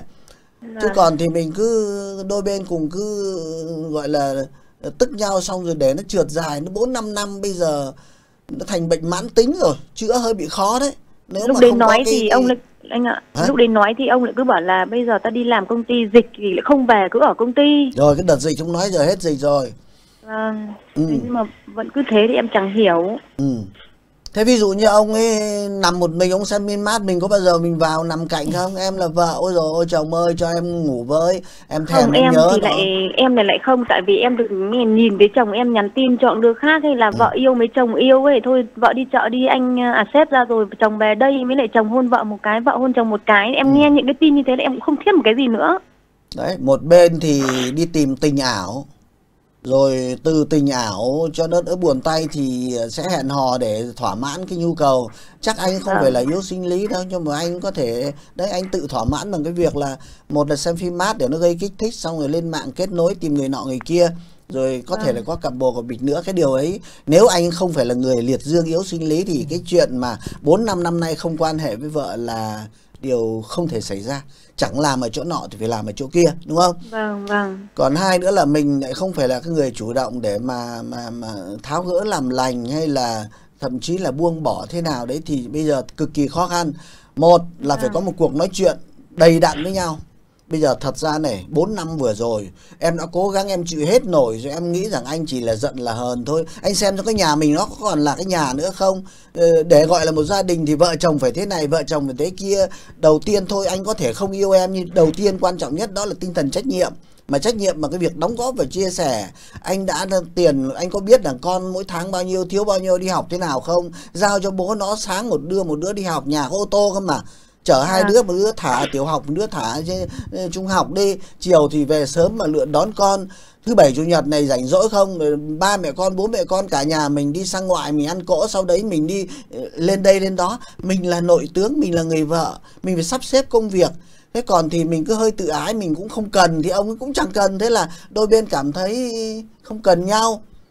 Mình nhưng mà mình... không không bảo được anh ạ. Sao lại không bảo được còn không nếu nói không... được ý, bà em cũng nói chuyện với cả bà chị gái của chồng rồi thế chị gái của chồng còn bảo là mày xin lỗi nó đi nghĩa là bảo xin lỗi em ấy thế nhưng mà toàn bảo là em không sao em không xin lỗi toàn bảo thủ thế thôi. Em ừ. em không cần xin lỗi em chỉ muốn quay đầu làm bờ thôi. Quay thì phải có cái tuyên bố phải có một cuộc họp rồi phải thống nhất ý kiến rồi cuối cùng cái tuyên bố. Còn từ trước đến giờ không rồi buông rồi không bây giờ tự nhiên một ngày nào đó lò dò dọn về chung với nhau à cho nên là phải có một một cuộc nói chuyện rất là dai trò. Nếu vâng. lúc ấy ông vẫn nói là tao không cần tao chỉ thế thôi mày muốn làm gì thì mày làm ấy thì mình sẽ xem rằng đấy với cái hoàn cảnh mà tình cảm nó không còn nữa trách nhiệm nó không còn một cái người chồng có cũng như không ấy thì mình lựa chọn cái đường hướng nào? Một là ra đi hai là chấp nhận chung sống và mình tự lo đến đời mình. Ví dụ như vậy đúng không? Không nhất thiết phải kết thúc bằng cái ly hôn nhưng mà người ta đã buông mình thì mình cũng buông người ta. Nhưng mà không phải ngồi đấy để mà mà trông đợi với khóc lóc bởi vì mình cái lớn nhất là mình đã tự lập mình nuôi được con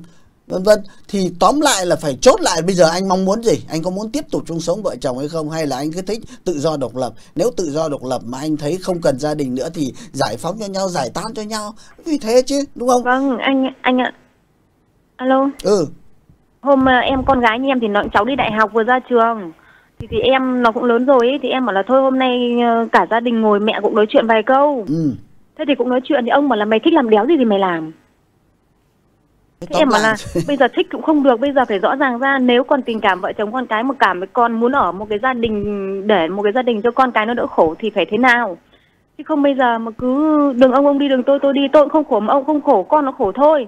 Mày làm cái đéo nào mày làm cứ bảo thế anh ạ thật ra bây giờ con con của của em nó cũng lớn rồi một đứa đã tốt nghiệp đại học nó sắp có cuộc sống riêng. Cái đứa thứ hai cháu ra trường rồi. Ờ lại còn ra trường nữa nó sắp lấy chồng nó có cuộc sống riêng. Cái người khổ cuối cùng ấy có lẽ chính là mình đấy. Chứ mình không phải bảo là nghiến răng vì các con đâu. Các con sẽ lớn dần và nó nó sẽ tự lo được cuộc sống của nó. Ông kia thì ông đã văng ra là muốn làm gì thì mày làm. Ờ, tiền thì vâng. ông tự kiếm được ô tô thì ông ngồi ông ấy ôm. Ờ, gái thì ông cũng tự giải quyết được. Thì mình có lẽ phải tìm một cái cái cái hướng cuộc sống khác thôi. Nếu không anh, mà nói anh chuyện cho em anh cho em một cái phương án anh gọi anh là... không thể quyết định là em ơi em bỏ ông đi để em đi cặp bồ à, không. hay là có nghĩa là anh động viên em một cái phương án để cho em thanh thản cái đầu. Em thì nói thật em cũng là muốn buông bỏ lắm anh ạ. Em lấn cấn điều gì mà không buông bỏ? Buông em khác bỏ chỉ, bỏ là chỉ phải ly hôn buông là không ly hôn nhưng mà coi nhau như chết rồi. Thôi mình chưa mua được nhà mới nhưng hồn ai người giữ tiền ai người tiêu đời ai người lo. Đó thì đấy là vâng. là đấy đúng là anh ông là bây giờ coi em chết rồi thật ý. Ừ, thế còn mình thì còn còn coi ông như cái gì? Em vẫn cứ bình thường lắm anh ạ. Em nghĩ là em cũng coi như em cũng nghĩ là em thương chẳng có chồng vì em có đi nhờ và vả gì đâu anh. Ừ. tình cảm không có tình thương không có tiền thì không đi làm về không đem đưa. Mình có khổ lắm không? Ví dụ ông không đưa tiền mình có đói lắm không không đưa tiền bây giờ con em cháu vừa ra trường đi làm rồi cháu ừ. cũng cho em 10 triệu một rồi, tháng rồi cái kinh tế là mình cũng không cần coi như ông đóng trả đóng thì thôi. Cái việc vâng. ông ấy không quan hệ với mình 5 năm nay ấy, mình có khổ lắm không? Cái đấy em cũng không ấy lắm đâu anh ạ nhưng mà em Quen chỉ như này nó có gái ở ngoài sao ấy mà nó đem cả sổ đỏ của em thì nó cắm nữa cơ. Em không biết nó cắm bao giờ mãi em mới phát hiện ra được nửa năm nay thôi. Nhưng em bảo nó đem về hôm trước em đem đưa cho nó bốn sáu triệu để đi chuộc về nhưng giờ nó vẫn chưa đem được về cắm ngân hàng hay là cắm cho đầu gấu hay cắm cho vay nặng lãi? Em bảo là cắm ở đâu để tôi tôi tôi chuộc cũng không bảo. Em bảo thế đưa tôi ra cho ông vay bao nhiêu cũng không đưa. Thôi yên tâm. Lại là cắm ở đâu thì cắm nhưng không thể mất được bởi vì nếu sang nhượng bán chăng nữa cần phải có chữ ký của hai vợ chồng. Nếu đấy là sổ đỏ mang tên hai vợ chồng. Cho nên mình đấy thì em sợ nó vay vay ngoài vay cao là chết anh ạ thì ông cũng vay rồi sổ đỏ ông cầm đi rồi mà cái đối tượng nào đó cầm sổ đỏ thì họ cũng không thể đến cướp nhà bạn hay là uh, kể cả ngân hàng cũng thế. Cần có ký tá gì cũng phải có hai vợ chồng thì người ta mới đến tịch thu của nhà mình được đúng không? Đấy vâng. Cho nên là thôi cái cái nhà cái cửa yên tâm người ta đã âm mưu người ta mang đi thì mình cũng không sợ nữa.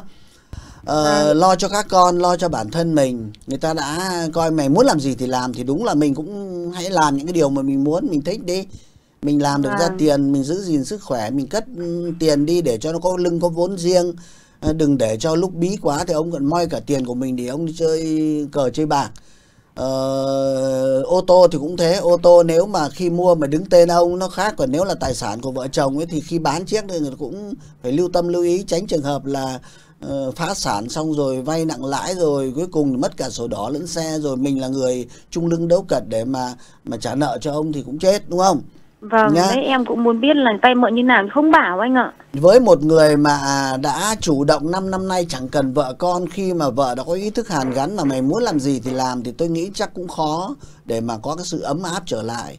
Mình có nhún đến đâu thì nhún. Thôi thế thì không bỏ được thì hãy buông.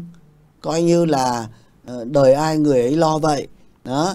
Thế còn Nhưng mà anh ơi em em lại sợ một ngày nào đó có tuổi rồi ấy, xong đến lúc nó lại ví dụ nó đi lằng nhằng có đứa khác có con về xong nó lại là đuổi em ấy đuổi em thì lúc đấy thì tất nhiên là ra tòa thì đuổi tòa làm sao được thôi. mình nhưng mà nó có pháp luật có chứ. tuổi rồi nó mệt ấy thứ nhất là ờ, không có mang được con ở đâu về để mà mà mà đuổi mình vì sổ đỏ là hai vợ chồng rồi à. mình còn có cơ quan đoàn thể lúc mình còn tố cáo mình báo cáo nọ kia mình là người vợ đường đường chính chính mà lại để chồng dắt gái hay dắt con riêng về đuổi mình mà mình chịu làm sao được. Lúc ấy em sợ lúc đấy là nó đánh nó đuổi thì mình khổ quá là mình lại đi. Rồi tôi nghĩ là bạn phải nâng cao kiến thức về à, pháp luật của mình. Không ờ, sợ. những cái điều mà lo lắng của bạn nhiều khi hơi thái quá. Và như anh đinh đoàn vừa nói một là buông hai là bỏ. Bỏ được vâng. lợi gì và buông được lợi gì thì bạn cân nhắc. Và bạn sẽ là người tự ra quyết định cho chính mình nhá tôi Hà Nội đây ạ. Dạ vâng, chào anh ạ. Câu hỏi của anh là gì ạ? Tôi xin hỏi uh, bác Linh Đoàn tí về cái cuộc sống của tôi, uh, sức khỏe hai năm nay của tôi là nó giảm quá. Sao từ đầu đến giờ chương trình toàn thấy sức khỏe giảm thế là anh năm nay bao nhiêu tuổi rồi? À, tôi mới có 65 tuổi ạ. Vâng, 65 giảm cái gì hả anh? Nói chung là đi lại khó khăn mà ăn uống là kém rồi thì là cái vấn đề tình dục với là vẫn còn ham muốn nhưng mà không làm được. Rồi tuổi 65 cái chuyện ham muốn là chuyện bình thường nhá. Còn cái làm à. được hay không lại là chuyện khác. Mà ngày xưa thì đã có câu là trên bảo dưới không nghe đấy. Trên thì mong mà, muốn có nhưng được mà, nhưng mà nhưng mà tôi nhìn thấy người đẹp tôi vẫn thích nhưng mà không làm ăn gì được. Vâng. vâng. thì tôi đang nói là 90 tuổi vẫn thích cơ mà có ai bảo anh không thích đâu. Vâng. Khổ thế nữa thế lại còn đi lại rồi không đi lại được nữa thì bị bệnh gì À tôi uh, từ năm uh, à, 2009 là nó bị tai biến bây giờ đi là vẫn đi được nhưng mà đi bằng một chân với một cái nạn thôi. À lại còn phải chống nạn Thế thì cái cái kia là anh muốn làm được anh cũng phải chống nạn đi theo nó rồi Khổ thế là chứ em... Xin hỏi bác sĩ xem là có phải hay là tôi uống cái thuốc hạ áp huyết mà nó Ui lại còn huyết áp cao đấy. đúng không? Huyết áp cao thì là nó sẽ liên quan đến đột quỵ đúng không? Thì có tiểu đường không? Có mỡ máu không? Không không có mỡ máu mà không tiểu đường chỉ có áp huyết cao. Vâng. vẫn bây giờ ừ. vẫn thế bây giờ vẫn còn uống rượu được không? Không rượu thì tôi từ ngày bị bệnh như là tôi bỏ rượu luôn rồi không có uống nữa. Rồi thế là tai biến mấy năm nay rồi? Đấy từ 2009 năm nay là 14 năm rồi. À 14 thế là cứ tập tàn tập tễnh thế thôi.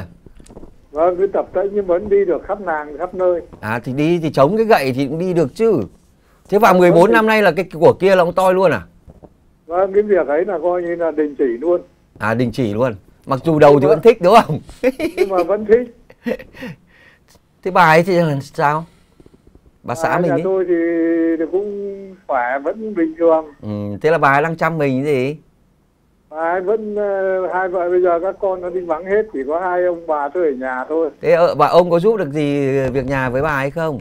À tôi bây giờ thì tôi đi lại được bình thường mà đi chống nạn thì tôi vẫn đi bình thường được. Tôi hỏi là tôi giúp vẫn... được việc nhà gì không chứ còn đi lại à, thì câu chống nạn tôi, thì tôi uh, nấu được cơm ăn rồi anh ạ. Dạ vâng, chúc mừng anh. Thế là cũng 14 năm qua thì là đã khởi sắc lên được tí rồi và anh cũng đang mong muốn là khởi sắc thêm cả cái phần ở giữa nữa đúng không? Đấy, tôi muốn là muốn khởi sắc cái vấn đề tình yêu tình báo ạ. Rồi. Bác sĩ Hoàng Thúy Hải sẽ tham dự với anh nhé. Xin mời chị ạ. Vâng, tôi chào anh ạ. Vâng, chào em Hải nha. Anh ờ, nghe em thuyết minh anh thích lắm đấy. Em Hải nghe thấy anh nói không? Dạ có ạ. Vâng, cảm ơn anh ạ. Vâng. Em anh vẫn ơi. như ngày mới có chương trình nhưng em vẫn trẻ lâu quá. Vâng ạ. Ôi dồi ôi thế ạ. Vâng. Anh ơi, em muốn hỏi là vợ anh bao nhiêu tuổi rồi ạ? Vợ anh năm nay là 62 rồi. À vâng, chị 62 còn anh 70 đúng không ạ? Vâng. Nói chung là cũng 68. hết sinh nở rồi vâng mãn kinh rồi em ạ. Vâng. Ờ, em nghĩ là anh cuộc sống của anh hiện nay đang rất là tốt ạ. Vâng. À, hai vợ chồng thì anh cái quan trọng nhất là anh vẫn tự phục vụ được anh vẫn nấu được cơm anh vẫn đi lại bình thường có chống nặng một chút thôi có nghĩa là anh vẫn thực hiện được những cái việc ờ, với bản thân mình không cần phải có sự giúp đỡ của người khác như thế rất là tốt rồi, rồi. Vâng. Tất cả những cái sinh hoạt cá nhân là đều làm được cả. Không rất tốt rồi. Vâng, bây giờ như thế là mừng lắm rồi ạ. À. Chứ nếu như mình lại nằm một chỗ xong rồi chị ấy phải nâng lên đặt xuống, chị ấy phải phục vụ mình thì lúc đấy mình mình mới là người mệt. Và cái việc chính của mình bây giờ là anh tập trung vào việc điều trị bệnh tăng huyết áp nhé bởi vì anh đã từng có tiền sử bị uh, tai biến một lần rồi ấy. Đấy, uh, thì bệnh tăng huyết áp thì bây giờ vẫn lấy thuốc miễn phí ở bên trạm xá người ta cho theo bảo hiểm thì vẫn lấy hàng tháng vâng. Mà. anh cố gắng là dùng thuốc theo đúng chỉ định này tái khám theo đúng hướng dẫn rồi à. có một cái chế độ dinh dưỡng cho cái người mà tăng huyết áp ý. Anh tìm hiểu thêm những cái chế độ dinh dưỡng uh, chế độ luyện tập như thế nào cho cái người bị tăng huyết áp để cho cái chất lượng cuộc sống của mình nó cứ như thế này hoặc là nó cải thiện một chút là mừng lắm rồi. Thế còn uh, tôi nghĩ là cái việc mà quan hệ tình dục của anh ý thì anh Văn Anh đã nói rất là kỹ rồi ạ. Nó do cái uh, biến chứng của cái việc tăng huyết áp nó gây ra cái tình trạng như vậy một số các cái thuốc điều trị tăng huyết áp nó cũng có cái tác dụng phụ có thể làm cho cái uh, rối loạn cương dương hoặc là um, như tình trạng của anh hiện nay nhé không có cái vâng. thuốc nào để mà làm cho nó trở lại bình thường như là cách đây 20 năm được. Anh cứ như thế này đã là tốt rồi ạ. Không, vâng. anh hỏi vui vẻ với nó là vui rồi. bác sĩ anh hỏi tí này. Vâng ạ. Một số người ta tư vấn cho anh là dùng những cái cái kích hoạt của mạng nó giao đấy. Vâng đừng có tốn tiền vào một vài ba cái lăng nhăng ở trên mạng anh nhé. Chưa kể là vâng, nếu vâng. anh dùng những cái sản phẩm mà mình không rõ về nguồn gốc hoặc là không rõ về tác dụng của nó thì đôi khi có khi lại còn có hại cho anh chưa chắc nó đã cải thiện được cái gì về về về cái cương dương mà có khi nó lại còn mắc thêm những cái bệnh khác trên nền một cái người mà có cái bệnh uh, mãn tính là bệnh tăng huyết áp như anh. Vì thế tôi nghĩ rằng là cuộc sống của mình như thế này đang rất là tốt rồi ạ. Anh đừng có chăn trở gì nhiều và cũng không cải thiện gì. Chị ấy năm nay thì cũng hơn 60 tuổi rồi. Anh cứ tự phục vụ được đối với chị ấy đã là niềm vui rất là lớn rồi anh ạ. Nhé rồi anh đã nghe rõ rồi chứ và đặc biệt là với những cái thuốc không có nguồn gốc nhiều khi khiến mà nó vượt quá cái ngưỡng huyết áp thì có khi là vâng. đột quỵ luôn. Lần nữa là mà đột quỵ lần hai đối với anh là cửa tử đấy nhá. Không tôi lần hai rồi nhưng mà tôi vẫn còn thông minh lắm. Ở bên lần ba chả ai đếm được. chưa biết nhưng mà tôi đã dính lần hai rồi mà bây giờ vẫn vâng. còn thông minh. thế đấy tất cả là phải do cái chế độ chăm sóc và chế độ tuân thủ nghiêm ngặt cái thuốc điều trị nhá chứ anh gạt à. ra khỏi đầu những cái thuốc quảng cáo lăng nhăng đi nhá vâng ạ vâng ạ chào anh cảm ơn bác sĩ Hoàng vâng. Thế Hải Quý vị đang theo dõi chương trình Cửa sổ tình yêu, số điện thoại tổng đài 0243 826 2625 đang chờ quý vị kết nối. Hãy nhấn nút đăng ký kênh của chúng tôi để theo dõi chương trình Cửa sổ tình yêu mới nhất. Và bây giờ thì chúng ta sẽ cùng kết thúc chương trình Cửa sổ tình yêu của ngày hôm nay bằng cuộc điện thoại gọi đến từ tỉnh Quảng Ninh. Alo, Quảng Ninh đâu ạ? Ở đây Quảng Ninh đấy ạ. Dạ vâng, chào bác ạ. Bác lớn à. tuổi chưa ạ? Ừ, tôi năm nay là sinh năm 1953 nhỉ. Năm hai là 72 tuổi ạ. Vâng, sinh vâng. năm 1953. Ừ. Vâng, rồi thế là bác có băn khoăn gì ạ? À, tôi có băn khoăn uh, về vấn đề như bữa trước tôi đã nói với anh ấy là có một đứa con cách đây 50 năm thì bây giờ tôi mới tìm thấy anh ạ. Vâng. Thì làm vâng. sao ạ? Thế cho nên là tôi ờ, cũng ờ, trước tiên là xin chào anh Vinh Đoàn và chị Thúy Hải và cùng tổ tư vấn nhá. Dạ vâng, chào anh. Ờ, tên tôi là Tuấn, sinh năm 1953 tại Hải Dương anh ạ. Dạ. Hiện nay tôi đang sống và làm việc tại Quảng Ninh. Vâng. Hà Nông Quảng Ninh. Thế nay tôi có nhờ chương trình tư vấn cho tôi một việc uh, tôi có nên làm hay không nên hay là hay là nên làm ở tôi rất hay nãy anh ạ. Anh nói đi ạ. À? Vâng, cái nội dung câu chuyện như sau. Thưa quý anh chị là câu chuyện của tôi ấy, thì nó trình bày thì nó hơi dài tí Thế tôi nghĩ là cái câu chuyện của tôi là nó rất đặc biệt và nó rất là ly kỳ bí ẩn đấy. Vâng. Nó không giống với trường hợp nào cách đây là 50 năm anh ạ. Năm ấy là tôi năm ấy là 1970 ấy, lúc đó là tôi 17 tuổi. Vâng. Thế quê hương tôi thì nước trũng đồng trong nên là tôi vào cái đội chủ lực đi đắp đê. Vâng. Thế đi đắp đê chống đột thì là, tôi có yêu một cái cô uh, bằng tuổi tôi. 17. Bây giờ là uh, yêu bằng tuổi. Xong bắt đầu là được uh, một tuần thì bắt đầu tôi với cô ấy là là là, là có về quê cô ấy. Rồi. Thế mới thưa chuyện với bố mẹ ông bà cô ấy thì uh, ông bà ấy bảo là không đồng ý lấy tôi tôi là người thiên hạ. Rồi. Thế từ đó thì hai đứa chúng tôi là là là là, là, là, là chia tay nhau anh ạ. Thế. Thế được. À, chia thế tay được nhiều trước khi chia tay có làm cái gì không? thì- được khoảng 10 ngày sau thì cô ấy gặp tôi xong bắt đầu cô ấy nói là là là là là là, là, là à, em đã lấy chồng rồi và Ừ. lấy người cùng xóm cùng làng ừ. Đấy. Thế thì tôi tôi bảo là thôi thì nếu như mà hai ờ, các cụ không đồng ý cho anh với em yêu nhau thì thôi hai mình chia tay đúng không? rồi À, thế là bắt đầu là tôi mới ờ, đi ờ, cô ấy về cô ấy lấy chồng thì tôi mới, mới ờ, đi 18 tuổi thì tôi mới đi công nhân ra xí nghiệp ờ, lái xe ở xí nghiệp chuyển than ờ, Hoàng Gai anh ạ. Mãi ờ, năm 76 thì tôi có đi ờ, tôi mới nghỉ phép về quê vâng thì thăm quê hương tôi thì tự nhiên là tôi lại gặp mà cô ấy thì, thì qua ngõ nhà tôi anh ạ. Đấy. rồi Thế là 6 năm sau á, qua ngõ nhà tôi thì bắt đầu là tôi thôi mới ờ, mời cô ấy vào nhà chơi. rồi Vâng, tôi có mời mời vào nhà chơi xong bắt đầu tôi nấu cơm ăn uống xong bắt đầu là tối tôi mới ờ, dẫn cô đi chơi anh ạ. thế lúc ấy cô ấy có chồng chưa Lúc lấy chồng đâu mà. chứ. hả? Lúc bây giờ có chồng rồi chứ, cô ấy có thế mà lại còn dẫn 17 nhau đi chơi buổi tối nữa. Dạ. lãng mạn thế. Vâng. thế thì không biết là cậu chồng cô phát hiện ra thì chồng cô ấy cho ăn đòn à? À, đấy, cậu ấy lấy lúc là thì ông đã lấy vợ chưa? Sáu năm rồi không có con. Thế xong năm ấy tự nhiên là tôi lại đi nghe- nghỉ phép về quê thế là lại gặp cô ấy. Thế là gặp cô ấy thì bắt đầu là tôi mới giữ cô ấy ở nhà tôi ăn cơm xong bắt đầu là cô ấy lại đi mới đứa đưa em gái chồng được cơ. Hai người đi bảo đi đi thăm người ốm người đau gì qua ngõ tôi thế là tôi mới phát hiện được, tôi mới gọi vào nhà thôi. Đó ở nhà tôi xong rồi tôi mới giữ ở đây ăn cơm, xong rồi tối đến tôi mới rủ cô ấy đi ra ờ, xóm chơi. Thì thì hai đứa mới tình xưa nghĩa cũ thì gặp nhau 6 năm xong bắt đầu cô mới nói hết về chuyện của cô ấy là cô ấy lấy chồng từ ngày đấy đến bây giờ là không có con. Rồi thế là cô ấy mới là tôi mới cô ấy tình xưa nghĩa cũ là hai cái đứa nó có nằm với nhau. Ừ. Đấy, nằm với nhau thì được ờ, khoảng có độ năm sáu phút thôi anh ạ.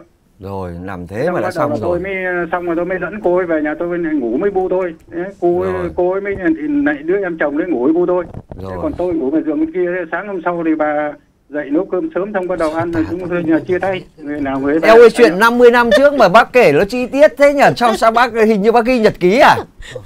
vâng à, Đề nghị bác ngắn gọn không là tôi cắt cuộc điện thoại này đấy. ờ tôi kể tiếp nhá ừ.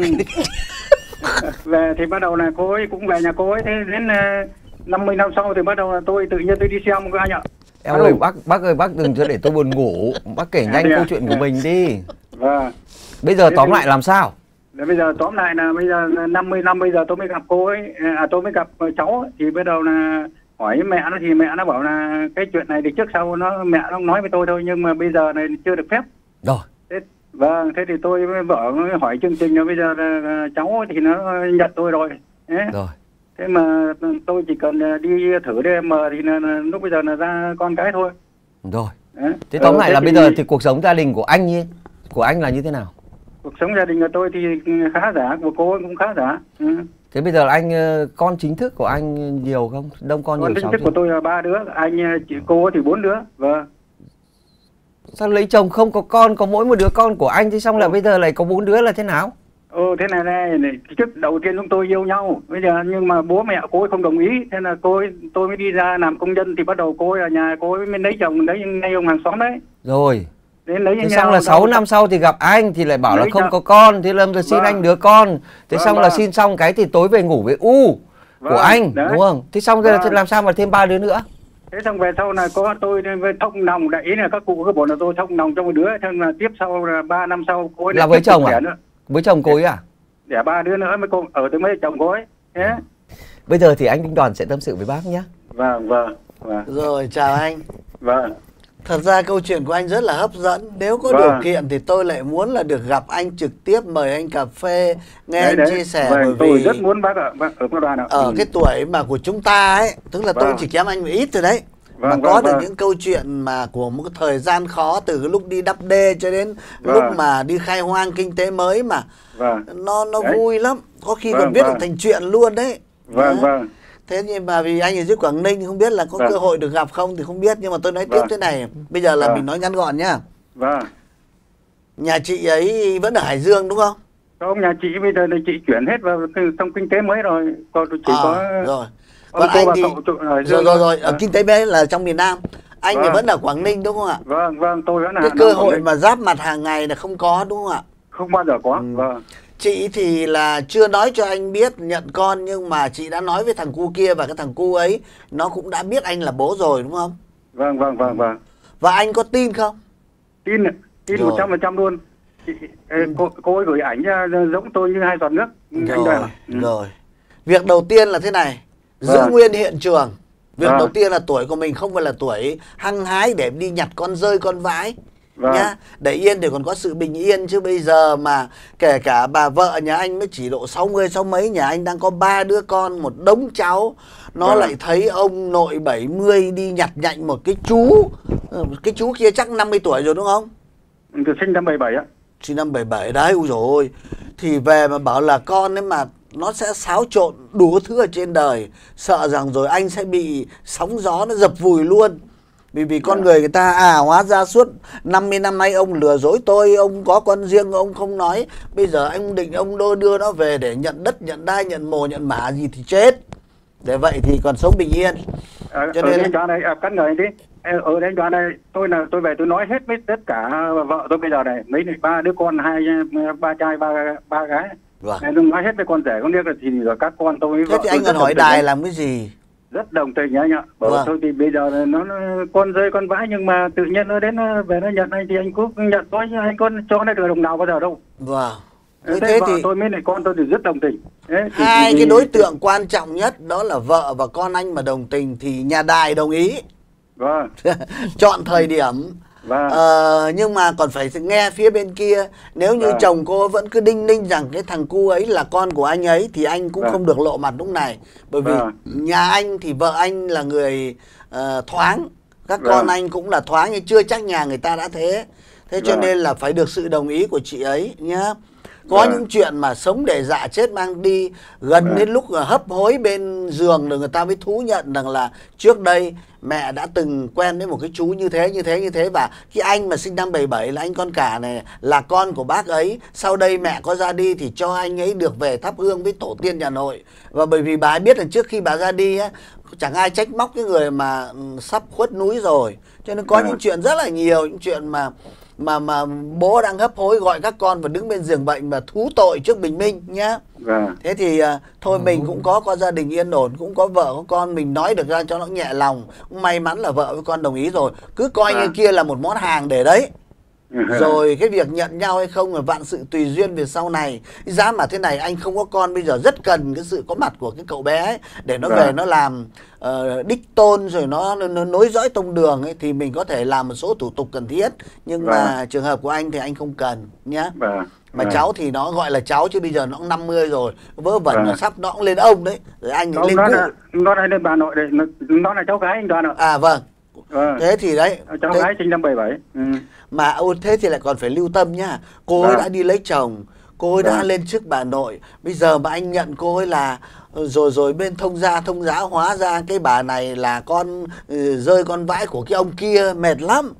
Đấy, ừ. Ờ, tôi chỉ sợ nhất cái thế thôi. Về phía gia đình của bác thì rất là thuận lợi, chi vợ vâng. và các con ờ, bác thì đều không vâng. phê bình những vâng. cái quá khứ của bố nhưng vâng. về phía gia đình của bên người con rơi của anh ấy thì vâng. cũng nên uh, thăm dò thêm ý kiến của họ khi nào rồi, thời điểm nào nó phù hợp thì mình thôi. công khai ừ. nhá mà à. xong công khai xong đi chăng nữa thì trước khi công khai cũng vẫn thể phải thử ADN xem đúng con nhà mình hay không hãng à. làm bung bét nó ra nha anh nhá xin chào anh cảm ơn chuyên gia tâm học đinh đoàn quý vị khán thính giả thân mến thời lượng dành cho chương trình cửa sổ tình yêu của chúng ta ngày hôm nay đến đây là hết Hẹn gặp lại quý vị khán thính giả trong chương trình Cửa sổ tình yêu số tiếp theo.